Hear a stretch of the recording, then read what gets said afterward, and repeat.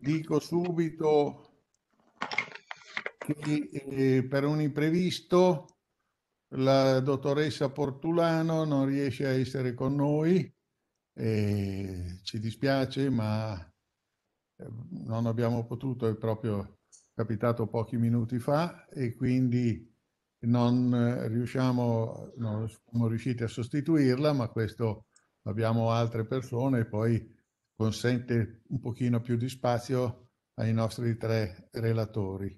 Detto questo, comincio subito, apro il, il, questa riunione di webinar che ha un titolo, spero, intrigante, cioè la fiducia nei confronti della scienza circa questo vaccino. Mi spiego. Questo vaccino in un senso è un miracolo, come è stato detto più volte, nel senso che segna sicuramente un passo in avanti nelle tecniche vaccinali, poi probabilmente gli esperti ne parlano, eh, sapranno dire meglio di me, ma sicuramente ha segnato un qualche cosa di straordinariamente nuovo eh, nelle, nella struttura stessa dei vaccini, a quel poco che capisco, tanto che alcuni dicono che non sono vaccini, sono modificazioni genetiche, come al solito si gioca su quello, no? Eh, ma eh, sono qualcosa di sicuramente innovativo. Dall'altra parte sono stati fatti con grande rapidità e a volte questa rapidità è stata scambiata per fretta con l'idea che si è sempre eh, visto che questa fretta farebbe, eh, farebbe pensare a cose terze e probabilmente questo aspetto ha risollevato, ha risuscitato antichi pregiudizi nei confronti dei vaccini, perché non dimentichiamolo che nei confronti del vaccino c'è sempre stata una, sin dall'inizio una forte dose di ostilità pregiudiziale, tanto che il grande Jenner eh, eh, su se stesso e su, mi pare, suo figlio o comunque persone vicine proprio per convincere della bontà della questione, ma ancora, eh, ancora nell'Ottocento c'erano stampe raffiguranti che dopo la vaccinazione alle persone crescevano le corna, non per ragioni così, diciamo, istrioniche, ma perché il vaccino che viene dalla vacca avrebbe modificato queste cose. Allora la domanda che eh, ci siamo posti è esattamente quella di dire questo vaccino aumenta la fiducia nella scienza, segna l'ingresso della nostra società in una società scientifica, cioè veramente da oggi in avanti basata sulla scienza, perché sempre di più avremo bisogno di dipendere da dati scientifici e, e non dico da avere il CTS, no? il Comitato Tecnico Scientifico che ci governa, ma da, da avere un, un governo eh, fortemente improntato a dati scientifici oppure eh, questo vaccino produce eh, sfiducia e dà eh, adito a queste tendenze che io, noto scientista, chiamerei irrazionali, ma che alcuni dicono sono a difesa di una reale umanità. Questo direi che è il quadro generale da dibattere e adesso do la parola a Giuliana Pitacco che è socia e responsabile a Trieste della sezione triestina della consulta di bioetica, eh, nonché responsabile nella ASL locale di vari servizi e le cedo la parola che condurrà il dibattito. Io ringrazio tutti, eh, prima di tutto i relatori, Silvio Garattini, Lavinia del Corona, Silvia Camporesi, per il tempo che ci dedicano alla preparazione che hanno avuto e tutti che stanno seguendo. Prego Giuliana. Allora, innanzitutto buonasera a tutti. Eh, sono molto emozionata perché è la prima volta che mi capita di moderare un, uno di questi seminari, spero di essere all'altezza. E per rispondere a domande, questa domanda, che è il nucleo proprio della, del seminario di questo pomeriggio, passerei per primo la parola al professor Silvio Garattini dell'Istituto Mario Negri. E abbiamo deciso di fare circa 20 minuti di relazione per lasciare anche lo spazio al dibattito, ma naturalmente se abbiamo bisogno di qualche minuto in più non ci interromperemo. Prego, professor Garattini, la ringrazio. Grazie, per l'invito.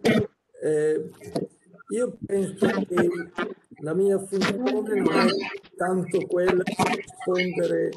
Mi sentite? Pronto? A tutti di chiudere, di chiudere tutti i microfoni e lasciare solo acceso quello del professor Garattini perché altrimenti c'è un rimbombo che facciamo fatica a seguire.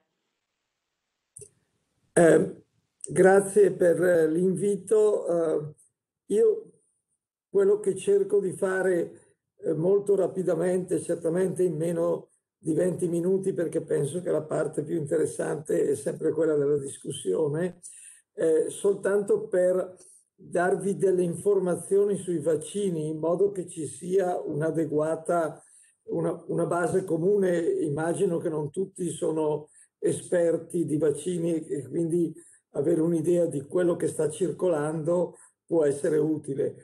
Allora, eh, è vero che è stato fatto un grande progresso, però questo progresso non dipende eh, dall'industria farmaceutica, ma dipende da tutti gli studi che erano stati fatti in un campo completamente diverso, cioè la tecnologia che viene utilizzata è una tecnologia che deriva dagli studi sui tumori eh, fondamentalmente. E poi è stata adattata e c'è, stata certamente una grande capacità nell'adattarla a questo aspetto, come pure non, le nanoparticelle che si usano e che sono la parte più innovativa perché non richiede più eh, la, un vettore virale, almeno alcuni dei vaccini non richiedono un vettore virale, anche questo è il frutto delle conoscenze sulle, eh, sulle nanoparticelle che eh, si sono sviluppate in questi ultimi anni. Senza questa tecnologia non avrebbero potuto certamente fare né il vaccino Pfizer né il vaccino moderna. Eh, inoltre, diciamo, bisogna tener conto nel valutare il significato di questi vaccini, tener conto che c'è stato un grande innesto di risorse pubbliche. Si calcola che siano state inserite fra, riserve, fra fondi pubblici e fondi non profit, tipo la, la, la fondazione, eh, delle fondazioni americane, eh, sono stati circa 16 miliardi di dollari che sono stati, quindi diciamo il lavoro di chi doveva mettere a punto i vaccini è stato facilitato, come pure è stato facilitato dal fatto che la burocrazia che normalmente richiede molti tempi per dare qualsiasi autorizzazione è stata velocissima e quindi questo diciamo ha, ha, pensate che normalmente per dare un giudizio su un farmaco l'EMA impiega 270 giorni. Qui invece si è utilizzato un sistema di, eh, un sistema di rolling che ha permesso di valutare i singoli pezzi di ricerca man mano che venivano terminati. Quindi eh, si è potuto fare un lavoro molto più veloce. Questo lo dico per togliere anche molte delle, eh, diciamo, dei dubbi, che sono dubbi legittimi, dovuti al fatto che c'è stata una grande accelerazione che si è fatto praticamente in meno di un anno quello che normalmente richiede parecchi anni eh, con i vaccini tradizionali. E questo insomma eh, è una premessa. Noi abbiamo oggi disponibili tre vaccini eh, allo stato attuale, approvati da tutte le autorità, autorità Drug Administration per gli Stati Uniti, eh, l'autorità inglese per il Regno Unito e l'EMA per eh, l'Europa. I tre vaccini sono il, eh, il vaccino Pfizer BioNTech, che è una joint venture fra l'industria americana e un gruppo tedesco. Eh, questo è un vaccino che è fatto da nanoparticelle che contengono pezzi di RNA, pezzi di RNA che sono fatti in modo tale da non reagire con il DNA, perché diciamo queste particelle per produrre le proteine S eh, devono entrare nelle cellule e lì il, il, la componente, diciamo, il, lo spessore lipidico che sta intorno alle nanoparticelle si scioglie e l'RNA, che è una matrice, per produrre eh, dei pezzi di proteina S, che è la proteina importante perché il virus possa entrare nelle cellule. Se non entra nelle cellule il virus non può sopravvivere. Allora, la proteina S sviluppata dall'RNA che è entrato nelle cellule eh, viene percepita dall'organismo come estranea e per questa ragione l'organismo eh, predispone due tipi di risposta, una risposta umorale che è quella più conosciuta che eh, eh riproduciamo dicendo la risposta anticorpale e una risposta invece cellulare che è una risposta linfocitaria, cioè delle cellule o dei mononucleati eh, che sono in grado di aggredire il virus. Eh, questo detto in termini semplici. Il, eh, il, il vaccino eh, di Pfizer è stato sperimentato a partire da 16 anni fino a tutte le età, quindi è in grado di coprire tutto l'arco delle età delle persone.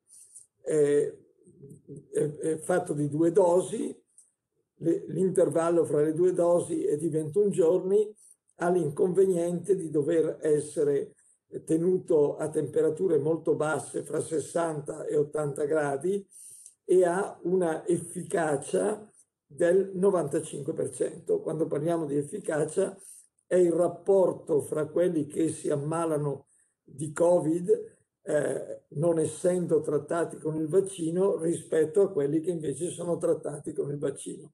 Su circa 35.000 pazienti o partecipanti allo studio, eh, il gruppo non trattato ha sviluppato 162 casi di eh, Covid-19 e invece il gruppo dei trattati ne ha sviluppato solo 8. Quindi questo è il rapporto di efficacia. Possiamo dire la stessa cosa per quanto riguarda il vaccino Moderna, eh, che anche lui è fatto di nanoparticelle e diciamo, ha le stesse caratteristiche. Ha il vantaggio che la sua componente lipidica delle nanoparticelle è più stabile e quindi ha il vantaggio di poter essere conservato a una temperatura eh, migliore, cioè di meno 20 gradi. Eh, il tempo, due dosi sono necessarie anche per loro, eh, anche per questo vaccino. Eh, la distanza tra le due dosi è di 4 settimane, 28 giorni, e l'efficacia è di circa il 95%. Quindi queste, diciamo, sono le caratteristiche dei due. Poi viene il 3, il terzo, che è quello di AstraZeneca, che è arrivato un po' più in ritardo rispetto ai primi due. È il terzo che è stato approvato da parte dell'EMA. Questo vaccino eh, usa invece non le nanoparticelle, ma usa come vettore un adenovirus che non è patogeno per l'uomo e che quindi non desta problemi dal punto di vista della sicurezza. Eh, questo, eh, questo, lo studio di questo vaccino porta, diciamo invece che RNA porta DNA, ma poi il DNA eh, sviluppa il suo RNA e quindi fa più o meno le stesse cose che fanno gli altri due vaccini, ma lo fa attraverso un vettore eh, di tipo adenovirus. Eh, anche questo vaccino deve, viene utilizzato per, con due dosi. Il rapporto di intervallo è molto diverso perché può arrivare fino a 12 settimane per la somministrazione della seconda dose. ha il vantaggio di poter essere mantenuto in un normale frigorifero, ma ha due principali svantaggi. Uno è che è stato studiato soltanto in soggetti fra 18 e 55 anni e l'altro svantaggio è che la sua efficacia è intorno al 60%. Quindi dobbiamo calcolare, eh, questo poi può servire da riferimento, dobbiamo calcolare che quando noi abbiamo utilizzato 40 milioni di dosi, che erano le dosi che abbiamo comperato da parte di Pfizer come Italia, ci eh, ritroviamo dovendo utilizzare due dosi a vaccinare 20 milioni di persone, ma ne proteggiamo soltanto 12 milioni, perché appunto proteggiamo soltanto il 60%. Quindi questo è il grande inconveniente di un vaccino che non copre, diciamo, almeno il 90% dei vaccinati. Questa è la situazione attuale. Cosa vediamo per il prossimo futuro? Per il prossimo futuro vediamo altri vaccini, uno che è in corso di studio da parte dell'EMA, che è il vaccino russo, lo Sputnik 5. Eh, questo vaccino ha, è molto simile a quello di, eh, di AstraZeneca, eh, però ha un vantaggio che ha una protezione del 90%. Eh, quindi diciamo, è un grande vantaggio eh, che è dovuto al fatto che per veicolare le due dosi il vaccino russo impiega due adenovirus. Perché è importante? Perché se si usa un solo virus per le due dosi, c'è la probabilità che si formino anticorpi contro questo adenovirus e che quindi quando arriva la seconda dose l'adenovirus sia meno efficiente. Se si usano due, due vettori molto simili, è, è, chiaro che la seconda dose sarà pienamente efficiente perché è, è, è veicolata da un virus eh, completamente diverso. Quindi questo diciamo è, una, è un problema eh, che in questo caso è diventato positivo eh, e poi abbiamo il Johnson Johnson. Questo è un altro vaccino che ha però la caratteristica di poter utili essere utilizzato con una sola dose, ma la sua efficacia è del, di circa il 66% e quindi questo diciamo eh, vuol dire quello che abbiamo già detto per AstraZeneca. Noi in che condizioni siamo dal punto di vista delle vaccinazioni? Siamo nella condizione di essere in grande ritardo e questo diciamo è stato la, il ritardo è stato ammesso recentemente anche dalla Presidente dell'Unione Europea. Noi in Europa abbiamo, eh, diciamo, vaccinato, cioè abbiamo impiegato per ogni 100 residenti 3,9 dosi, ma eh, il, gli Stati Uniti ne hanno già eh, vaccinati 12, qualcosa e, l'Inghilterra ne ha vaccinati più di 18. Israele ha superato il 50%. Questo ci dice che siamo in grande ritardo e che non abbiamo, nonostante sia stato un po' aumentato il numero, ma per ragioni di produzione eh, avremo più dosi, ma dovremo aspettare più tempo i calcoli che io ho cercato di fare e che diciamo non, non danno grande sicurezza perché non sappiamo se tutto quello che ci è stato promesso eh, arriverà. Abbiamo già visto che ci sono dei ritardi e che ci sono degli intoppi che diciamo sono assolutamente comprensibili di fronte alla necessità di sviluppare miliardi di dosi. Però dicevo che noi in un caso estremamente ottimistico potremo raggiungere circa i 40 milioni di vaccinati eh, e di protetti intorno alla fine dell'anno, è molto più probabile che raggiungeremo il traguardo soltanto nel primo trimestre del 2022. Quindi siamo in ritardo, ma abbiamo invece bisogno di agire in fretta e finisco subito. Perché dobbiamo agire in fretta? Perché nonostante questo sia un virus relativamente stabile, molto più stabile per esempio del virus dell'influenza, però è un virus che eh, viene sottoposto a delle continue mutazioni. Abbiamo, diciamo, si calcola che ci siano state almeno 20.000 mutazioni della proteina, delle proteine che compongono il virus. Tenete presente che sono delle proteine molto grosse. La proteina S, eh, per esempio, eh, ha circa, mi pare, 1273 aminoacidi, quindi è una grossa proteina. E se calcolate che su un solo virus ci sono fra i 25 e le 40 punte, cioè queste spike, che poi non sono punte, ma sono delle specie di tulipani, eh, eh, diciamo che eh, le possibilità di mutazioni sono molto, molto importanti. E quindi queste varianti possono indurre dei problemi perché in linea generale continuano a essere sensibili ai vaccini, ma però ci possono essere varianti che diventano insensibili ai vaccini. È noto a tutti, perché è stato riportato dalla stampa, che il, la variante sudafricana è una variante che non è più sostanzialmente sensibile al vaccino AstraZeneca, eh, che diciamo dal 60% diventa attivo al 20%, che naturalmente non è più un vaccino utilizzabile. Quindi abbiamo bisogno di fretta, ma abbiamo bisogno di fare in fretta non soltanto la eh, diciamo, protezione del, dei paesi occidentali, ma soprattutto dei paesi a basso reddito. Perché?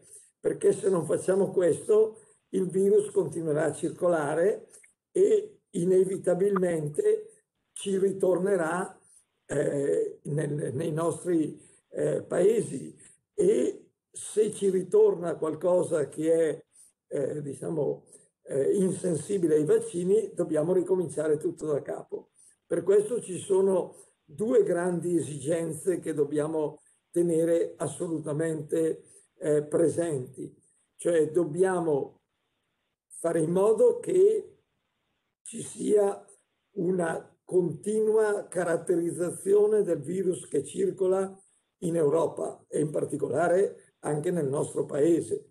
Pensate che in Inghilterra in questo periodo hanno fatto circa 200.000 sequenze virali, da, prendendo molti isolati da, da, tante parti dell'Inghilterra e da tante eh, componenti della popolazione. Noi ne abbiamo fatti forse mille e questo è un grande errore perché eh, ci troviamo nella condizione di valutare se ci sono qui determinate varianti che sono state caratterizzate altrove, ma il punto è che noi dobbiamo conoscere in, in, in profondità quali sono le varianti che circolano da noi per sapere se i vaccini continuano a essere efficaci oppure no e quindi dovremmo cambiare molto. Ma tutto questo, diciamo, sia i ritardi, sia la, la parte, eh, il fatto di non aver fatto uno studio anche noi adeguato delle varianti, fa parte della scarsa considerazione in cui la scienza è tenuta nel nostro paese. Eh, la scienza oggi è, è ridotta alla miseria nel nostro paese e quindi non ci dobbiamo aspettare che possa essere molto efficace e che possa in qualche modo influenzare la cultura di quelli che devono poi prendere delle decisioni. Mi fermerei qui. Eh, e... Grazie. Grazie professor Grattini per questa sua esaustiva presentazione sui vaccini Devo dirle che mi sto occupando di questo nella mia azienda, ma un quadro così chiaro onestamente non mi era mai, mi ha chiarito molte, molte cose. Sono molte cose che vorrei chiedere, ma magari le lascerò dopo. No, scusi, scusate se intervengo, forse conviene che dedichiamo una decina di minuti alle domande, se ne abbiamo di pressanti, perché poi il professor Garattini appena dopo le sei deve lasciarci, quindi forse ah, ecco. è più opportuno che... Come volete voi. Come Grazie. Silvio, ma è meglio che magari sì, dedichiamo sì, sì, d'accordo, d'accordo. domande. Sì, chiedo scusa, non sapevo di questo impegno del professor Garattini. Allora, se ci sono domande, le altre volte abbiamo fatto così, le persone che volevano intervenire accendevano la, la videocamera e quindi si palesavano e proponevano la, il proprio intervento. C'è qualcuno?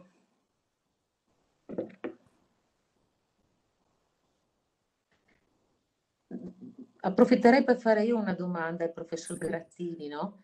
Eh, lei ha detto che la scienza nel nostro paese è ridotta alla miseria. Io non posso generalizzare, però lavoro in un'azienda sanitaria e a volte ho anche l'impressione che i servizi siano ridotti alla miseria, perché questo sforzo, cioè noi diciamo che c'è questo grande ritardo per quel che riguarda l'approvvigionamento dei vaccini, no?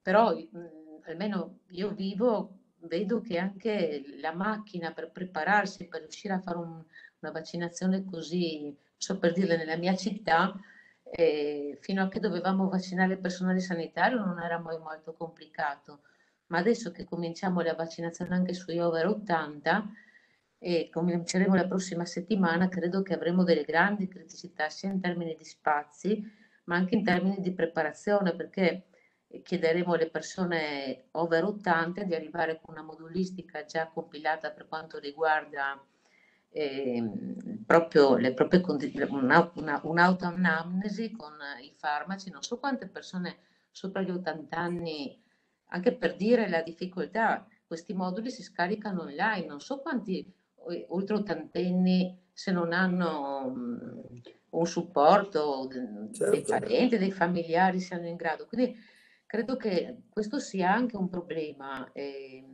e l'altra cosa che volevo... Suscita, suscita un altro problema che è proprio quello dell'organizzazione. Eh, io vi posso dire che diciamo, mi ha molto sorpreso per esempio il fatto che non abbiamo, no, non abbiamo nemmeno predisposto un modulo per sapere da parte di quelli che sono stati vaccinati che tipo di effetti collaterali hanno avuto, che sarebbe molto importante, perdiamo una gran quantità di dati che sarebbero molto utili. Questo perché, perché non c'è una, una direzione centrale, una comprensione dei problemi a livello centrale. Poi ogni ospedale magari fa il suo modulino ma poi non possiamo mettere insieme le cose perché ognuno fa quello che ritiene più opportuno. E invece l'organizzazione è molto importante per, perché se avremo, ammesso che avremo, avremo a disposizione un buon numero di, di dosi tutte allo stesso tempo, eh, certamente l'organizzazione diventa fondamentale. Io vi posso dire, conosco quello che stanno facendo in Giappone, per esempio in Giappone in questo periodo, nei primi due mesi dell'anno, quello che hanno fatto sono state le esercitazioni, cioè hanno predisposto delle strutture e hanno visto e stanno cercando di vedere qual è il modo migliore per vaccinare in fretta e per fare in modo che tutti arrivino al momento giusto, abbiano quello che serve, che ci siano i medici, che ci siano gli infermieri, e loro faranno 80 milioni di, di, di vaccinazioni dal primo di marzo al 31 di maggio. E questa è un'organizzazione. Israele ha fatto la stessa cosa, ha già, eh, ha, già vaccinato quasi la metà della sua popolazione.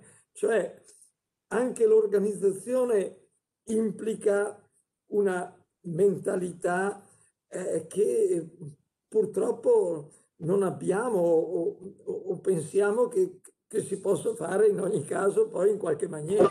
E invece questo sarà uno dei principali ostacoli se avremo la possibilità di fare una vaccinazione massiva.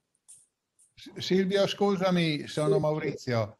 Queste sono considerazioni molto importanti che riguardano la, la questione scientifica, l'organizzazione scientifica, però io avrei una domanda a monte, e cioè eh, questi vaccini sono stati fatti con grande rapidità anche perché, se non sbaglio, i cinesi hanno messo a disposizione il, eh, diciamo, lo l'RNA. Esatto, no? E, e, c'è stata ampia collaborazione scientifica che di solito non, non si vedeva. Ecco. Allora ci sono due, due problemi. Il primo riguarda eh, il fatto che è stato sviluppato soprattutto da multinazionali che adesso danno tratti non noti, dice che non sono noti, giustamente il prezzo che fanno a uno non lo deve sapere l'altro per tutte queste faccende. La seconda cosa riguarda invece il problema dei, degli studi di controllo di cui tu dicevi, sì. cioè eh, sono stati fatti così eh, rapidamente che alcuni dicono che si sono saltati dei passaggi che dovevano essere fondamentali e questo, avrebbe, e questo è un fattore che crea sfiducia nella scienza, cioè sembra quasi che ad esempio i fattori di sicurezza siano, mh, mm, siano messi eh, in non cale, insomma, siano trascurati per arrivare subito, usiamo un termine brutale, al profitto. E quello, quello che posso dire io è che i passaggi fondamentali sono stati fatti tutti, perché c'è stata la ricerca sperimentale fatta negli animali, il primo, il primo caso, e tutti hanno fatto gli studi, hanno fatto gli studi in varie specie animali incluse le scimmie che sono l'animale d'elezione per questo tipo di, eh, per questo tipo di infezione, insomma. Poi è stata fatta la fase 1, la 2, la 3, quindi i, i dati di, eh, di effetti avversi sono noti e sono stati calcolati sia per le persone al di sotto dei 55 anni, dei 65 anni, sia al di sopra e oggi noi sappiamo per esempio che ci sono meno effetti collaterali negli anziani rispetto ai più giovani. Eh, questi dati li abbiamo. Quello che diciamo manca eh, certamente sono ancora molti aspetti. Per esempio manca il sapere quanto dura l'efficacia del vaccino. Questo non lo, non lo possiamo sapere se non passa il tempo, non è che possiamo accelerare. Quindi eh, ci sono certamente molte cose che non conosciamo. Una è questa, lo sapremo man mano che passa il tempo. Per adesso sappiamo che dura almeno per sei mesi. Quando saranno passati otto mesi vedremo com'è la situazione e così via andando avanti nel tempo. La seconda cosa che non sappiamo è in modo, diciamo, importante è se durante il periodo della formazione degli anticorpi il soggetto può essere ancora contagiato e quindi può essere in primo periodo ancora disseminatore eh, di virus. E questo diciamo non lo sappiamo con certezza, tant'è vero che per essere sicuri c'è l'idea che se uno eh, diciamo, viene pur essendo vaccinato, viene a contatto con soggetti che hanno il Covid, dovrebbe fare un periodo eh, di, eh, come si chiama, di eh, stare lontano dagli altri sostanzialmente. Eh, quindi questo diciamo è un'altra cosa che non sappiamo, come non sappiamo se l'insieme dei virus che circolano oggi nel nostro paese è veramente sensibile al, al vaccino, che, ai vaccini che utilizziamo perché non abbiamo ancora fatto eh, diciamo degli studi completi da questo punto di vista perché non sappiamo neanche quali sono eh, in termini quantitativi le varianti che circolano nel nostro paese. Quindi non c'è dubbio che c'è una serie di cose che non conosciamo. Eh, diciamo, è, è altrettanto vero comunque che le industrie farmaceutiche fanno il loro business. Eh, siamo noi che dobbiamo essere attenti. Per esempio, io ho trovato assolutamente incredibile che si possano mantenere eh, dei, dei contratti fatti con soldi pubblici che si possono mantenere segreti, perché fra l'altro se li avessero fatti vedere a qualcuno che ha una esperienza nel fare contratti farmaceutici, non avrebbero fatto almeno due errori fondamentali. Il primo è quello di ordinare le dosi invece di ordinare le confezioni, perché se si ordinano le dosi le hanno ordinate sulla base che ci fossero 5 dosi per ogni confezione. Siccome ce ne possono essere 6, eh, siamo rimasti eh, in difficoltà perché le dosi non saranno, eh, diciamo, 5, calcolate 5 per ogni flacone, ma saranno 6 per ogni flacone. Quindi avremo di fatto meno flaconi rispetto a quelli che pensavamo di avere. E poi c'è il problema della, della temporaneità nella, eh, nel mettere a disposizione il vaccino. Se facciamo, abbiamo fatto un rapporto su base trimestrale, eh, basta che il vaccino ce lo diano alla fine del trimestre, che è quello che, che sta succedendo. Per cui, diciamo, se arriva alla fine del, del trimestre il grosso del vaccino, vuol dire che per vaccinare ci vuole il trimestre successivo. E questo, diciamo, sono alcuni dei problemi che, che, che abbiamo incontrato sempre per l'approssimazione, sempre per il fatto che non abbiamo la capacità di pensare in anticipo quello che ci può servire. Faccio un altro esempio, siccome è molto probabile che, o perlomeno non è da escludere che in futuro abbiamo bisogno di modificare i vaccini, abbiamo bisogno di avere quello che serve se circoleranno delle varianti insensibili ai vaccini, eh, molti hanno pensato all'idea di avere degli stabilimenti che possono essere a disposizione per accelerare i, i processi e per essere in grado di non essere schiavi di quello che fanno all'estero, ma di avere le nostre risorse con cui far fronte alle nostre necessità. Beh, questo non, non, si è fatto e non si sta facendo.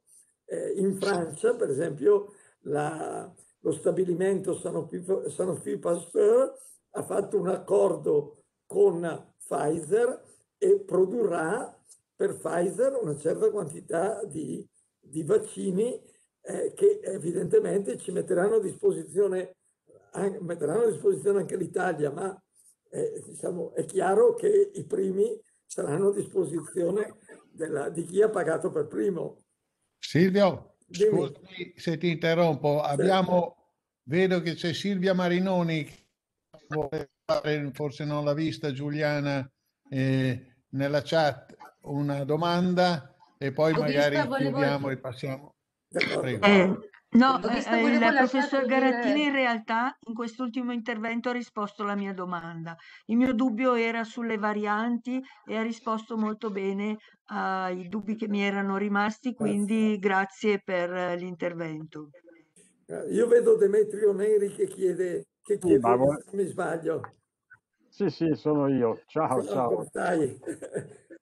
Senti, una domanda molto secca, ma da un milione di dollari quest'aura miracolistica che molti stendono un po' sulla scienza, in televisione e così via, secondo te farà bene o male alla scienza per il futuro? Fa male, molto male, male. perché Sono la scienza è un'attività umana ed è, ed è sottoposta ad errori come tutte le attività umane e quindi non dobbiamo idolatrare niente. Al tempo stesso però dobbiamo riaffermare, secondo me, che la scienza è una fonte di conoscenza che non può essere sostituita da altri tipi di conoscenza eh, e quindi ha una sua dignità, ha una sua modalità nel procedere e deve essere, diciamo, inserita nella cultura come le altre forme di, di conoscenza. C'è una conoscenza eh, dovuta alla filosofia, c'è una conoscenza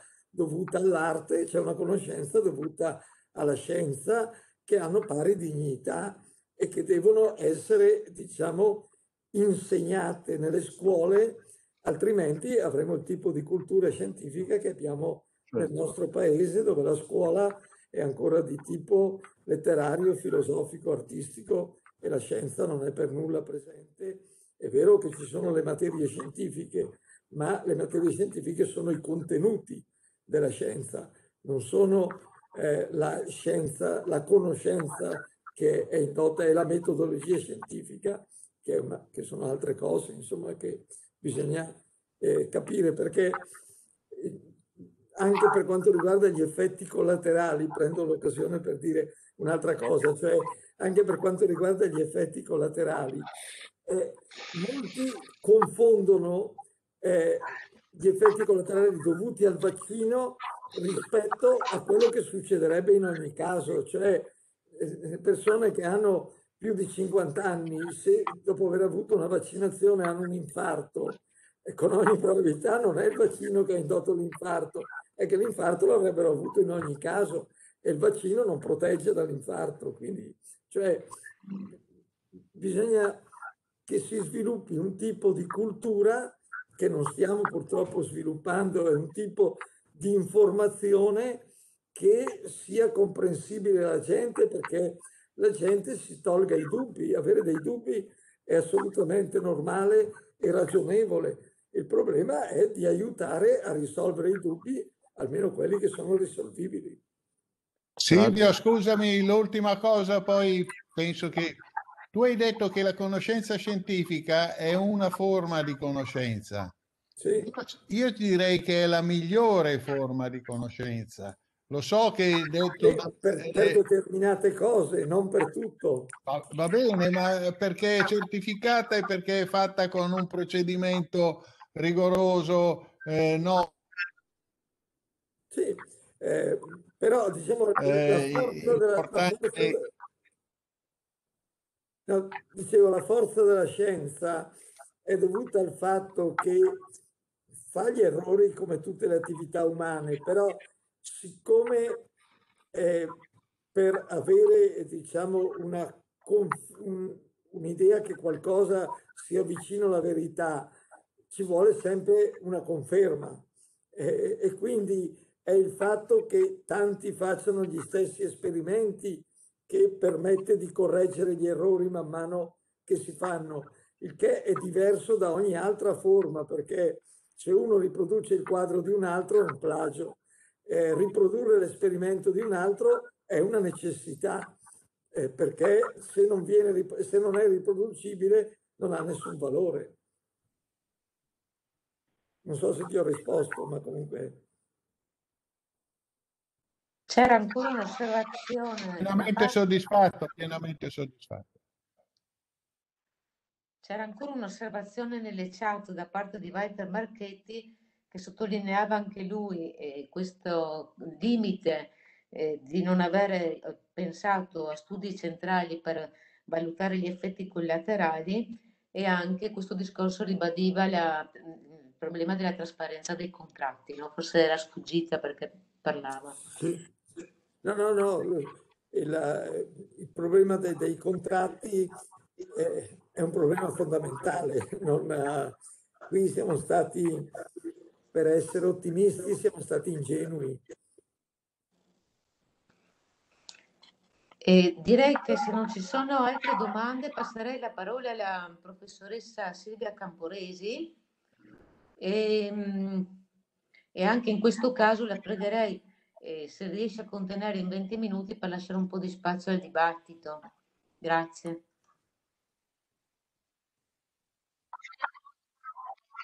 qui eh, parlare dopo il professor Garattini eh, insieme a Lavina del Corona.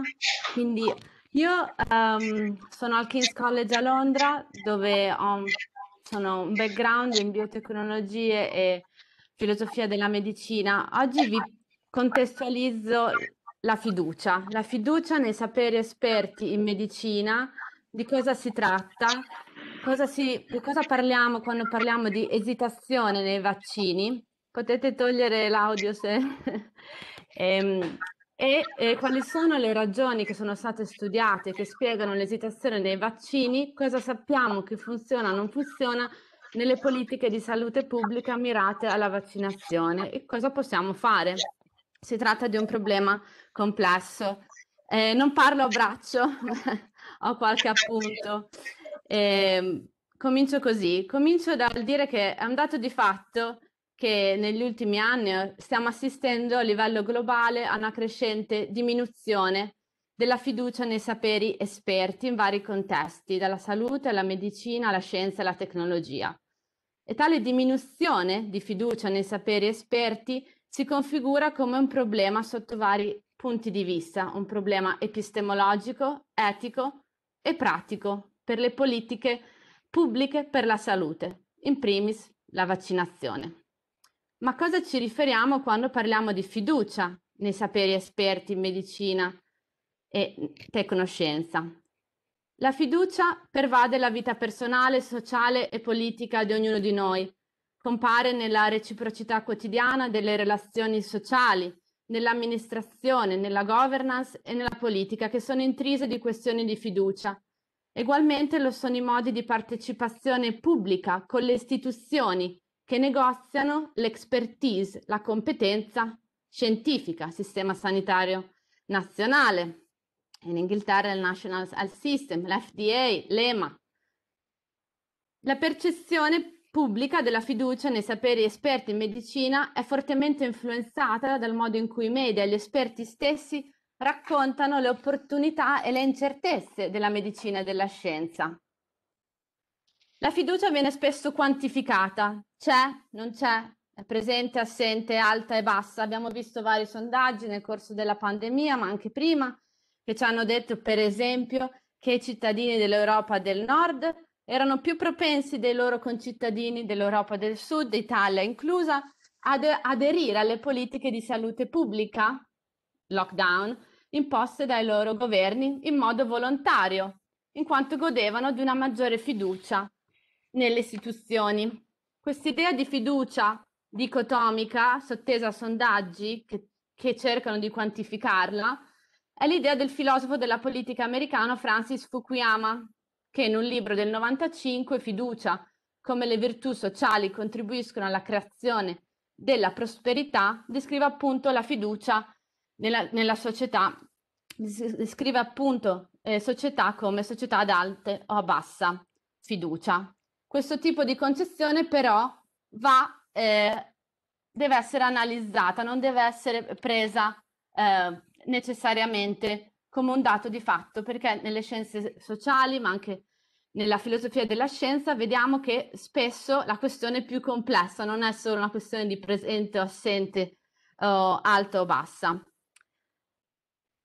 Anthony, il famoso sociologo britannico Anthony Giddens, che nel suo libro ormai di 30 anni fa, Le conseguenze della modernità, eh, fiducia, sicurezza e pericolo, parla della uh, fiducia nell'autorità della scienza e della medicina e dice che ognuno di noi, ognuno di noi ogni giorno nelle situazioni ed ambiti più diversi si trova ad affrontare scelte e scegliere è condizionato dalla conoscenza e dalle competenze scientifiche che altri posseggono e a cui dobbiamo, vogliamo riconoscere quella competenza per concedere o no la fiducia.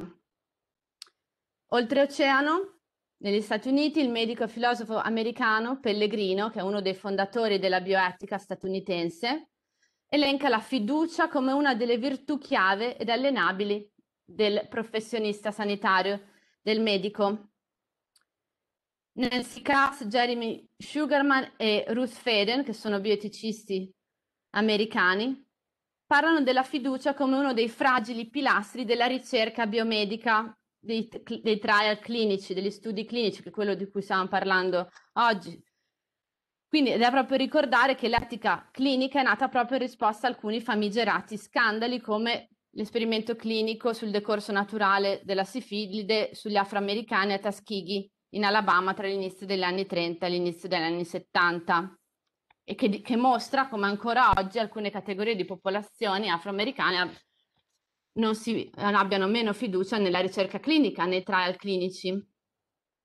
Esistono anche prospettive più critiche all'analisi del concetto di fiducia, ne cito solo una, della filosofa neocantiana britannica Honora O'Neill, che nella sua prestigiosa BBC Right Lectures, che sono eh, delle lezioni che ogni anno la BBC organizza, eh, invitando un famoso filosofo, altri eh, studiosi, insomma O'Neill smantella tre affermazioni legate alla fiducia, che ci sia stato un declino nella fiducia pubblica, nella fiducia delle istituzioni, Due, che dovremmo avere più fiducia nelle istituzioni. E tre, che dovremmo ricostruire questa fiducia che è stata perduta. Nel 2002, quindi ormai vent'anni fa, Honora Neal si è spinta fino a dire che se lo scopo della società fosse quello di avere più fiducia nelle istituzioni, questo sarebbe stupido, stupid, perché la fiducia può venire data a persone che non ne sono degne. Invece di aumentare la quantità netta di fiducia nella nostra società, O'Neill dice dovremmo assicurarci e promuovere la qualità della trustworthiness. In inglese trust è fiducia, trustworthiness può essere tradotto come affidabilità oppure per restare semanticamente più vicino a trust con l'essere degno di fiducia. E secondo questa concezione è l'affidabilità, non la fiducia in sé, che deve essere vista come la base della responsabilità e dell'accountability che è l'obbligo personale a rispondere alle proprie azioni, della vita pubblica. Quindi dopo questa introduzione un po' eh, veloce sul concetto di fiducia, mi avvio a parlare dell'esitazione riguardo ai vaccini. Allora, cosa intendiamo quando parliamo di esitazione riguardante le, le vaccinazioni? In inglese vaccine hesitancy.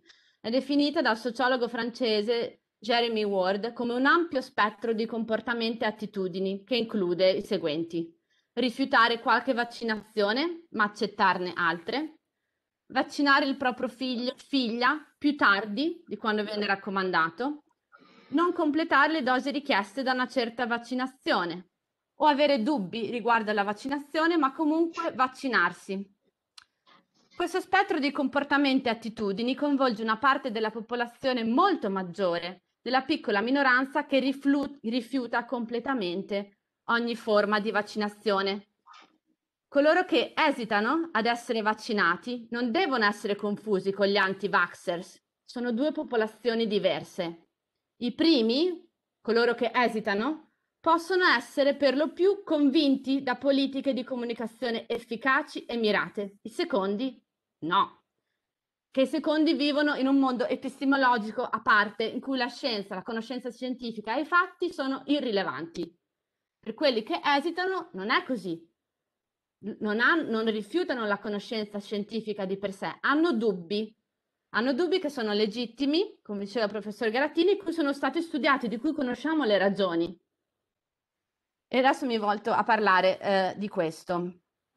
Quindi, studi molto recenti dell'istituto francese Jacques Delors, che si occupa di monitorare l'uptake dei vaccini, mostrano le sfide che si pongono alle vaccinazioni Covid. Da notare che la Francia è il paese con il più alto tasso di esitazione ai vaccini in Europa. Sono sfide, queste dei vaccini Covid, che si sommano a un substrato già molto diffuso di esitazione sui vaccini preesistente in Europa. Quindi non c'è da sorprendersi se vediamo esitazione ai vaccini Covid, ci sarebbe da sorprendersi se non la vedessimo. Le ragioni dell'esitazione sono state ampiamente studiate da scienziati sociali pre-Covid e possono essere fatte risalire almeno cinque contesti principali. 1. Timori riguardo alla safety, sicurezza ed efficacia dei vaccini. 2. Convinzione che approcci alternativi e naturali alla salute siano più efficaci e migliori dal punto di vista etico e morale. Naturalness argument in bioetica. 3 Timori riguardo alla libertà dell'individuo. L'autonomia dell'individuo sul proprio corpo è sovrana. Lo Stato non può e deve interferire.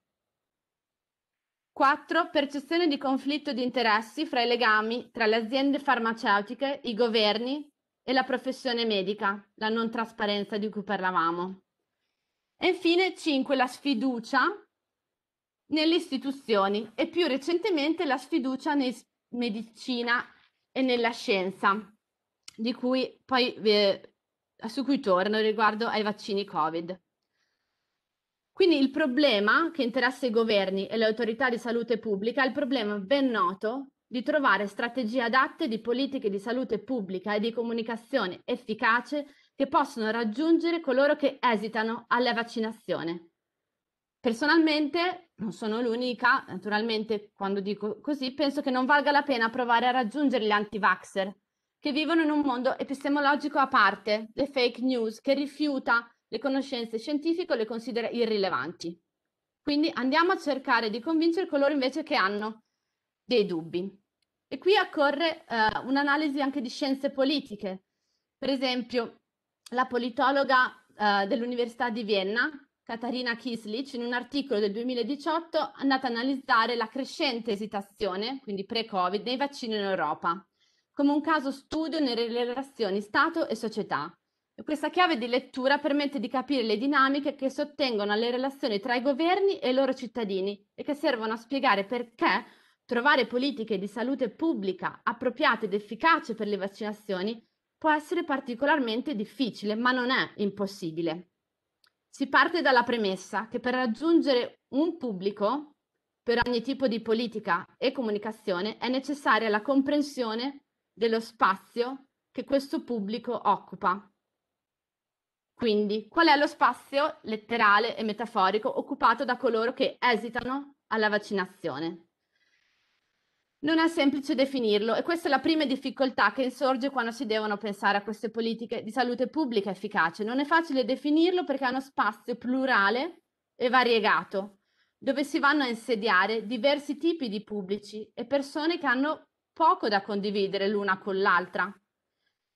Ci sono, come ho detto prima, vari tipi di ragioni per cui le persone esitano a vaccinare e ci sono gruppi che non sono spesso ben definiti, non hanno bisogno di essere organizzati in coalizioni formalizzate o gruppi di interesse e questo è uno dei punti di forza di coloro che esitano alla vaccinazione, perché a differenza di altri movimenti sociali non, non, hanno bisogno di organizzarsi e spesso all'interno di questa categoria si trovano persone anche molto diverse.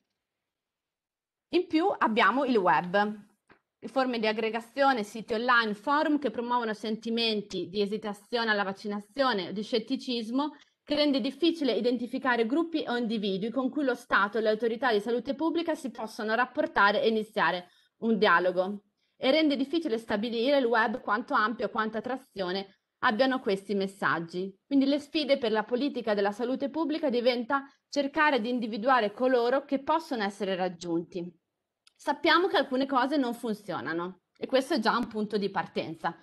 Sappiamo che descrivere, per esempio, genitori che rifiutano o esitano a vaccinare i propri figli come oggetto di stigma e, e eh, antagonisti alle, alle linee guida di salute pubblica, come cattivi genitori, come li marginalizza e li allontana ancora di più dal sistema. Se prima esitavano, sicuramente se gli diciamo che sono cattivi genitori, le loro esitazioni diventa non vado a vaccinare.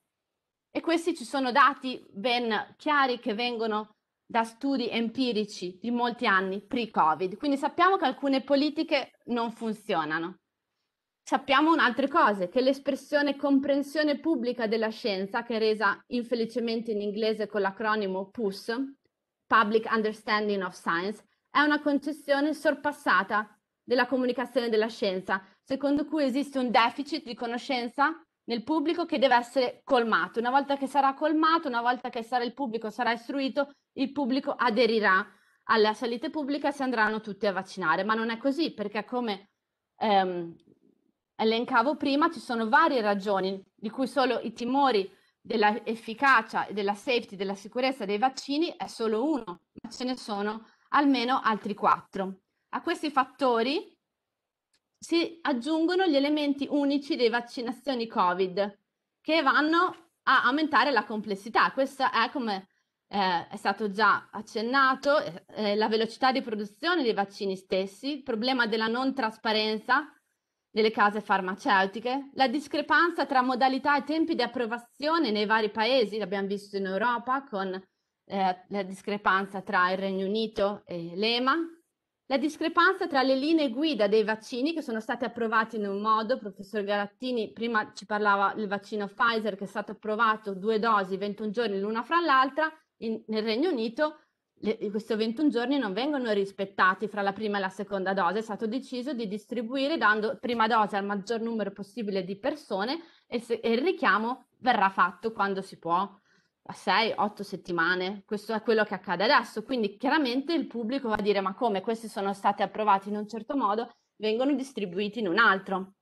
E infine la sfiducia verso gli scienziati che per la prima volta o in un modo più um, acuto vengono percepiti come fonti di informazione che non sono sempre affidabili. E qui ci sono dei dati che vengono da, eh, qui cito Barbara Saracino, che è una sociologa dell'Università di Bologna, che ha presentato i risultati di un sondaggio effettuato dall'Osservatorio Scienza, Tecnologia e Società dell'Università di Bologna. In un questionario del 2020 con dati rilevati anche a gennaio del 2021, va a vedere che la, la fiducia negli scienziati, che tradizionalmente è piuttosto alta tra i cittadini italiani, con, eh, è emerso che eh, è in decrescita e questo è attribuire al fatto che gli esperti hanno spesso dato durante Covid pareri contrastanti tra loro e non, è, non, hanno, non c'è stata una comunicazione quest- dell'incertezza della scienza.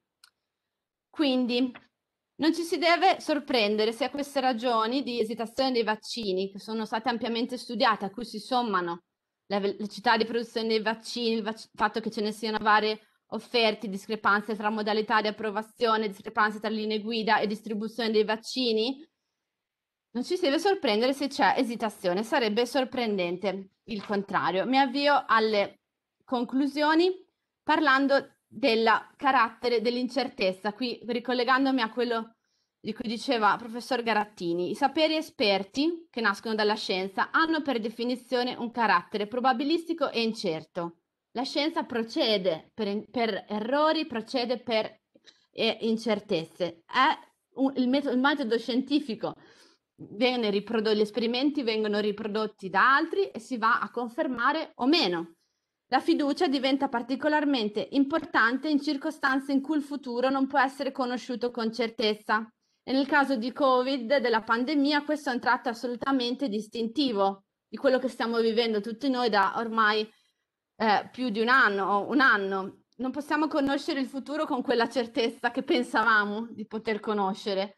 Viviamo in un orizzonte temporale alterato, viviamo la giornata e in questo senso la fiducia acquista un carattere performativo, cioè permette agli individui, a noi di muoverci, di mantenere una capacità di agire, di mantenere una sembianza di razionalità in un futuro che ha perso molte delle certezze dei punti di riferimento che avevamo.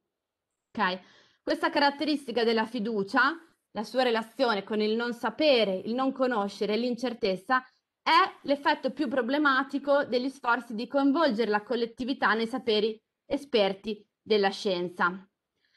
Una conoscenza parziale, una valutazione provvisoria della probabilità di eventi futuri, della probabilità di eventi collaterali, una continua revisione dei presupposti stessi della conoscenza scientifica sono pratiche epistemologiche intrinseche alla ricerca scientifica. Sono difficili, ma non sono impossibili da comunicare al pubblico.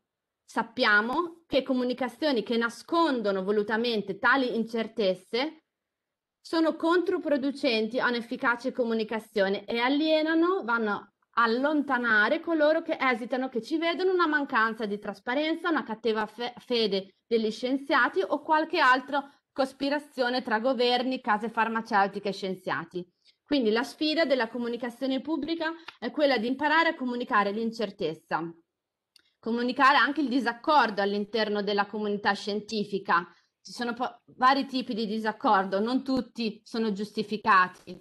Alcuni han, vengono definiti dal filosofo della scienza Immaculada de Melo Martin e Christian Inteman come disaccordi che sono appropriati dal punto di vista normativo e altri che non sono appropriati. Pensiamo a Andrew Wakefield e il link tra i vaccini e autismo. Ma anche questi devono essere comunicato in un modo che sia efficace, nascondendolo, discreditandolo il singolo, si va a vedere che si vengono a allontanare, a emarginare coloro che esitano. Quindi bisogna imparare a comunicare. L'incertezza è il metodo scientifico, la pratica epistemologica della scienza. E concludo sul fatto che eh, mi, qui cito Giancarlo Sturloni, che è un comunicatore scientifico esperto di comunicazione del rischio, che recentemente ha riflettuto sulla comunicazione e le responsabilità della comunicazione istituzionale riguardo a Covid e la campagna vaccinale e alla mancato avvio di una massiccia campagna di comunicazione riguardo alla vaccinazione. A mancare, oltre all'organizzazione, è stata una narrazione coerente in grado di accompagnare i cittadini attorno a dei messaggi chiari fin dal principio, con obiettivi prefissati. Quindi il problema non è il logo della campagna vaccinale o il video di tornatore, se ci piace o meno, il problema è che non si capisce cosa vuole dire quel video, manca un messaggio chiaro ed efficace. I dubbi di coloro che esitano sono legittimi, spesso ragionevoli. La difficoltà è che troviamo all'interno di coloro che esitano persone molto diverse, quindi abbiamo bisogno di cercare di capire lo spazio letterale e metaforico in cui si trovano questi pubblici diversi e poi con campagne di comunicazione efficaci condotte da esperti andare a cercare di mirarli e possibilmente di convincerli. Non sarà possibile convincerli tutti, ma non dobbiamo convincerli tutti, dobbiamo convincere abbastanza per ottenere un livello abbastanza alto di vaccinazioni perché sono le vaccinazioni che alla fine vanno a salvare le vite e non i vaccini. Quindi se abbiamo tanti vaccini ma poi non ci vacciniamo, non ce ne facciamo niente. E quindi mi fermo qui e se avete domande mi farà piacere rispondervi. Grazie professoressa Camporesi, una relazione ricchissima. E sentiamo se ci sono interventi. Mi pare che il professor Garattini voglia dire qualcosa, ma l'audio spento. professor Garattini ha l'audio spento. Il professor Garattini sta parlando. Qualcuno riesce forse a chiamare... Professor Mori, può chiamare il professor Garattini? Lo faccio subito. Eh, eh perché non, non si è accorto che ha l'audio spento. Forse adesso sì.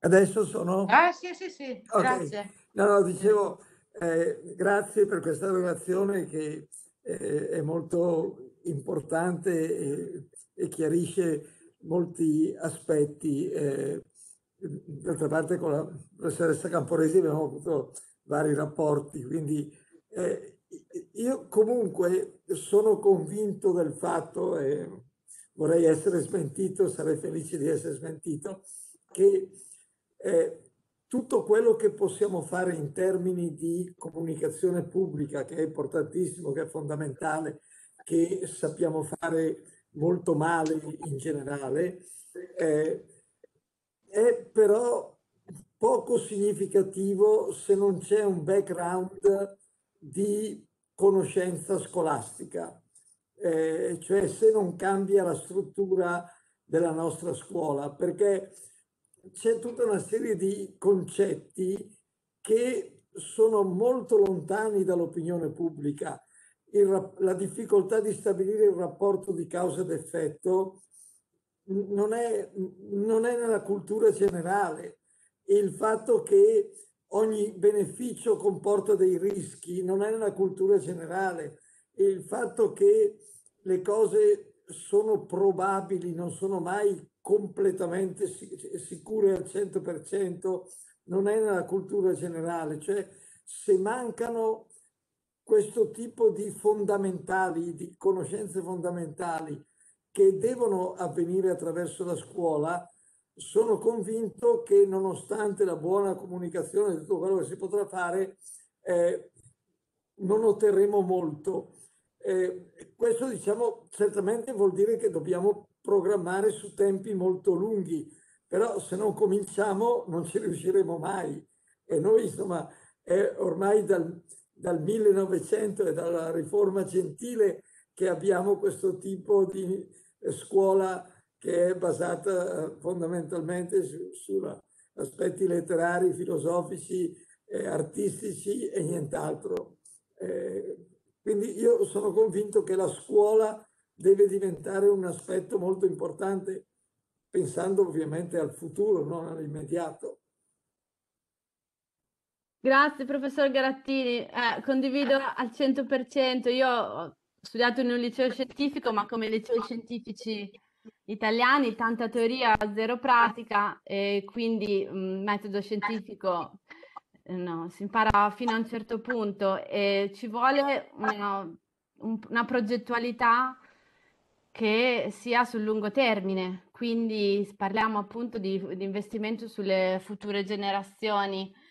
Ehm, sicuramente la campagna di comunicazione, se poi non va uh, a insediarsi su uh, uh, un substrato che può andare a capire cosa significa per conoscenza probabilistica, appunto rapporto rischi e benefici, rischio relativo, rischio assoluto, può essere efficace fino a un certo punto.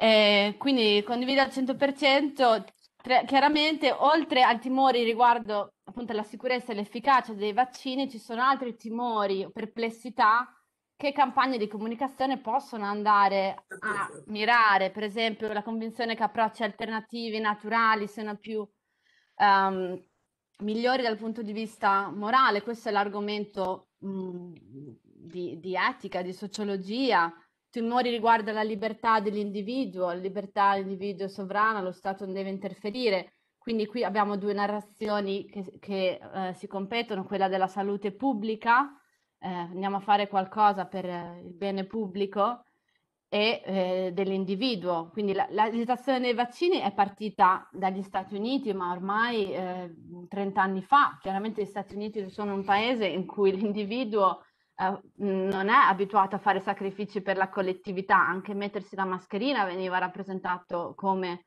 un sacrificio. Andiamo a immaginare a sottoporre proprio figlio a un vaccino che ha dei rischi, anche se eh, dal punto di vista probabilistico sono molto minori rispetto ai benefici e questo tipo di esitazioni poi sono arrivate al Regno Unito e sono arrivate fino a noi.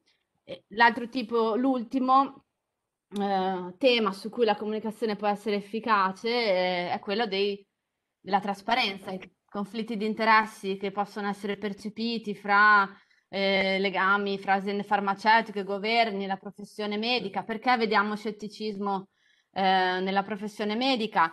Questi sono uh, dubbi che sono legittimi e su cui si può fare qualcosa. Ehm, però appunto i dubbi sono legittimi, ma eh, se per sé eh, poi bisogna fare qualcosa riguardo a questi dubbi. Grazie. Ci sono... Mi dispiace di lasciare questa cosa interessante, ma purtroppo devo andare. Grazie tante. Grazie. Grazie Silvio. Ciao, Grazie. ciao Maurizio. Sì, forse conviene che adesso riprendiamo la discussione con Lavinia e poi dopo facciamo una discussione generale successiva. C'erano due domande però, non so se vogliamo dare Vera Tripodi e Enrico Deli. Ma la, la, posso fare dopo, insomma, magari ah, ci stiamo... Sì, sì, va bene, va bene dopo. Va bene. va bene dopo. Beh, allora passo la parola alla, alla professoressa Grazie. Lavinia del Corona. Grazie, innanzitutto buonasera a tutti e tutte. Eh, volevo eh, ringraziare il professor Mori per avermi invitata a partecipare a questo seminario e mm, sono molto felice di, di, poter partecipare con dei relatori ben più illustri di, eh, di me, eh, di cui ho ascoltato con, con grande interesse davvero eh, gli interventi. Um, volevo iniziare con una premessa eh, circa ehm, l'importanza che eh, la questione della fiducia ehm, nella scienza ha anche eh, per, per, il giurista, per il diritto.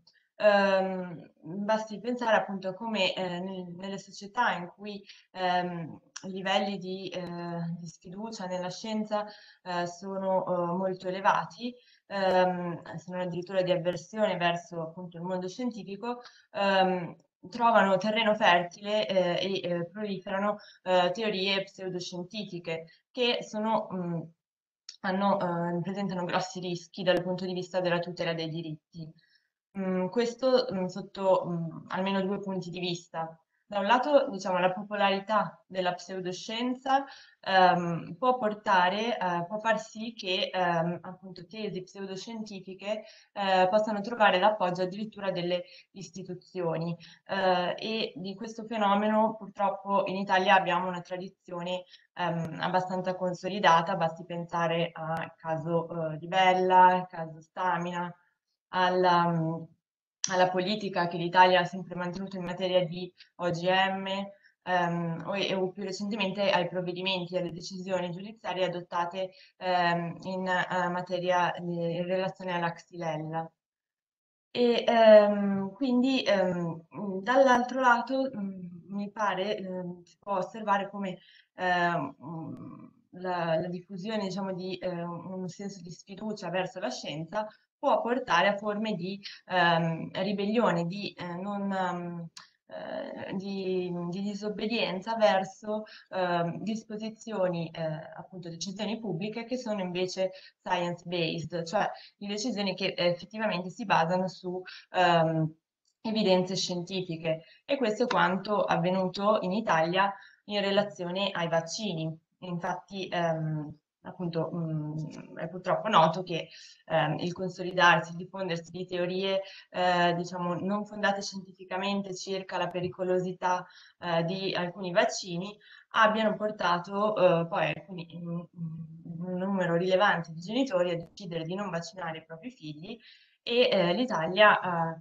ha visto quindi sorgere, in Italia sono nate epidemie, anche per esempio di morbillo, cioè di eh, malattie che si ritenevano ormai superate proprio grazie alla copertura vaccinale.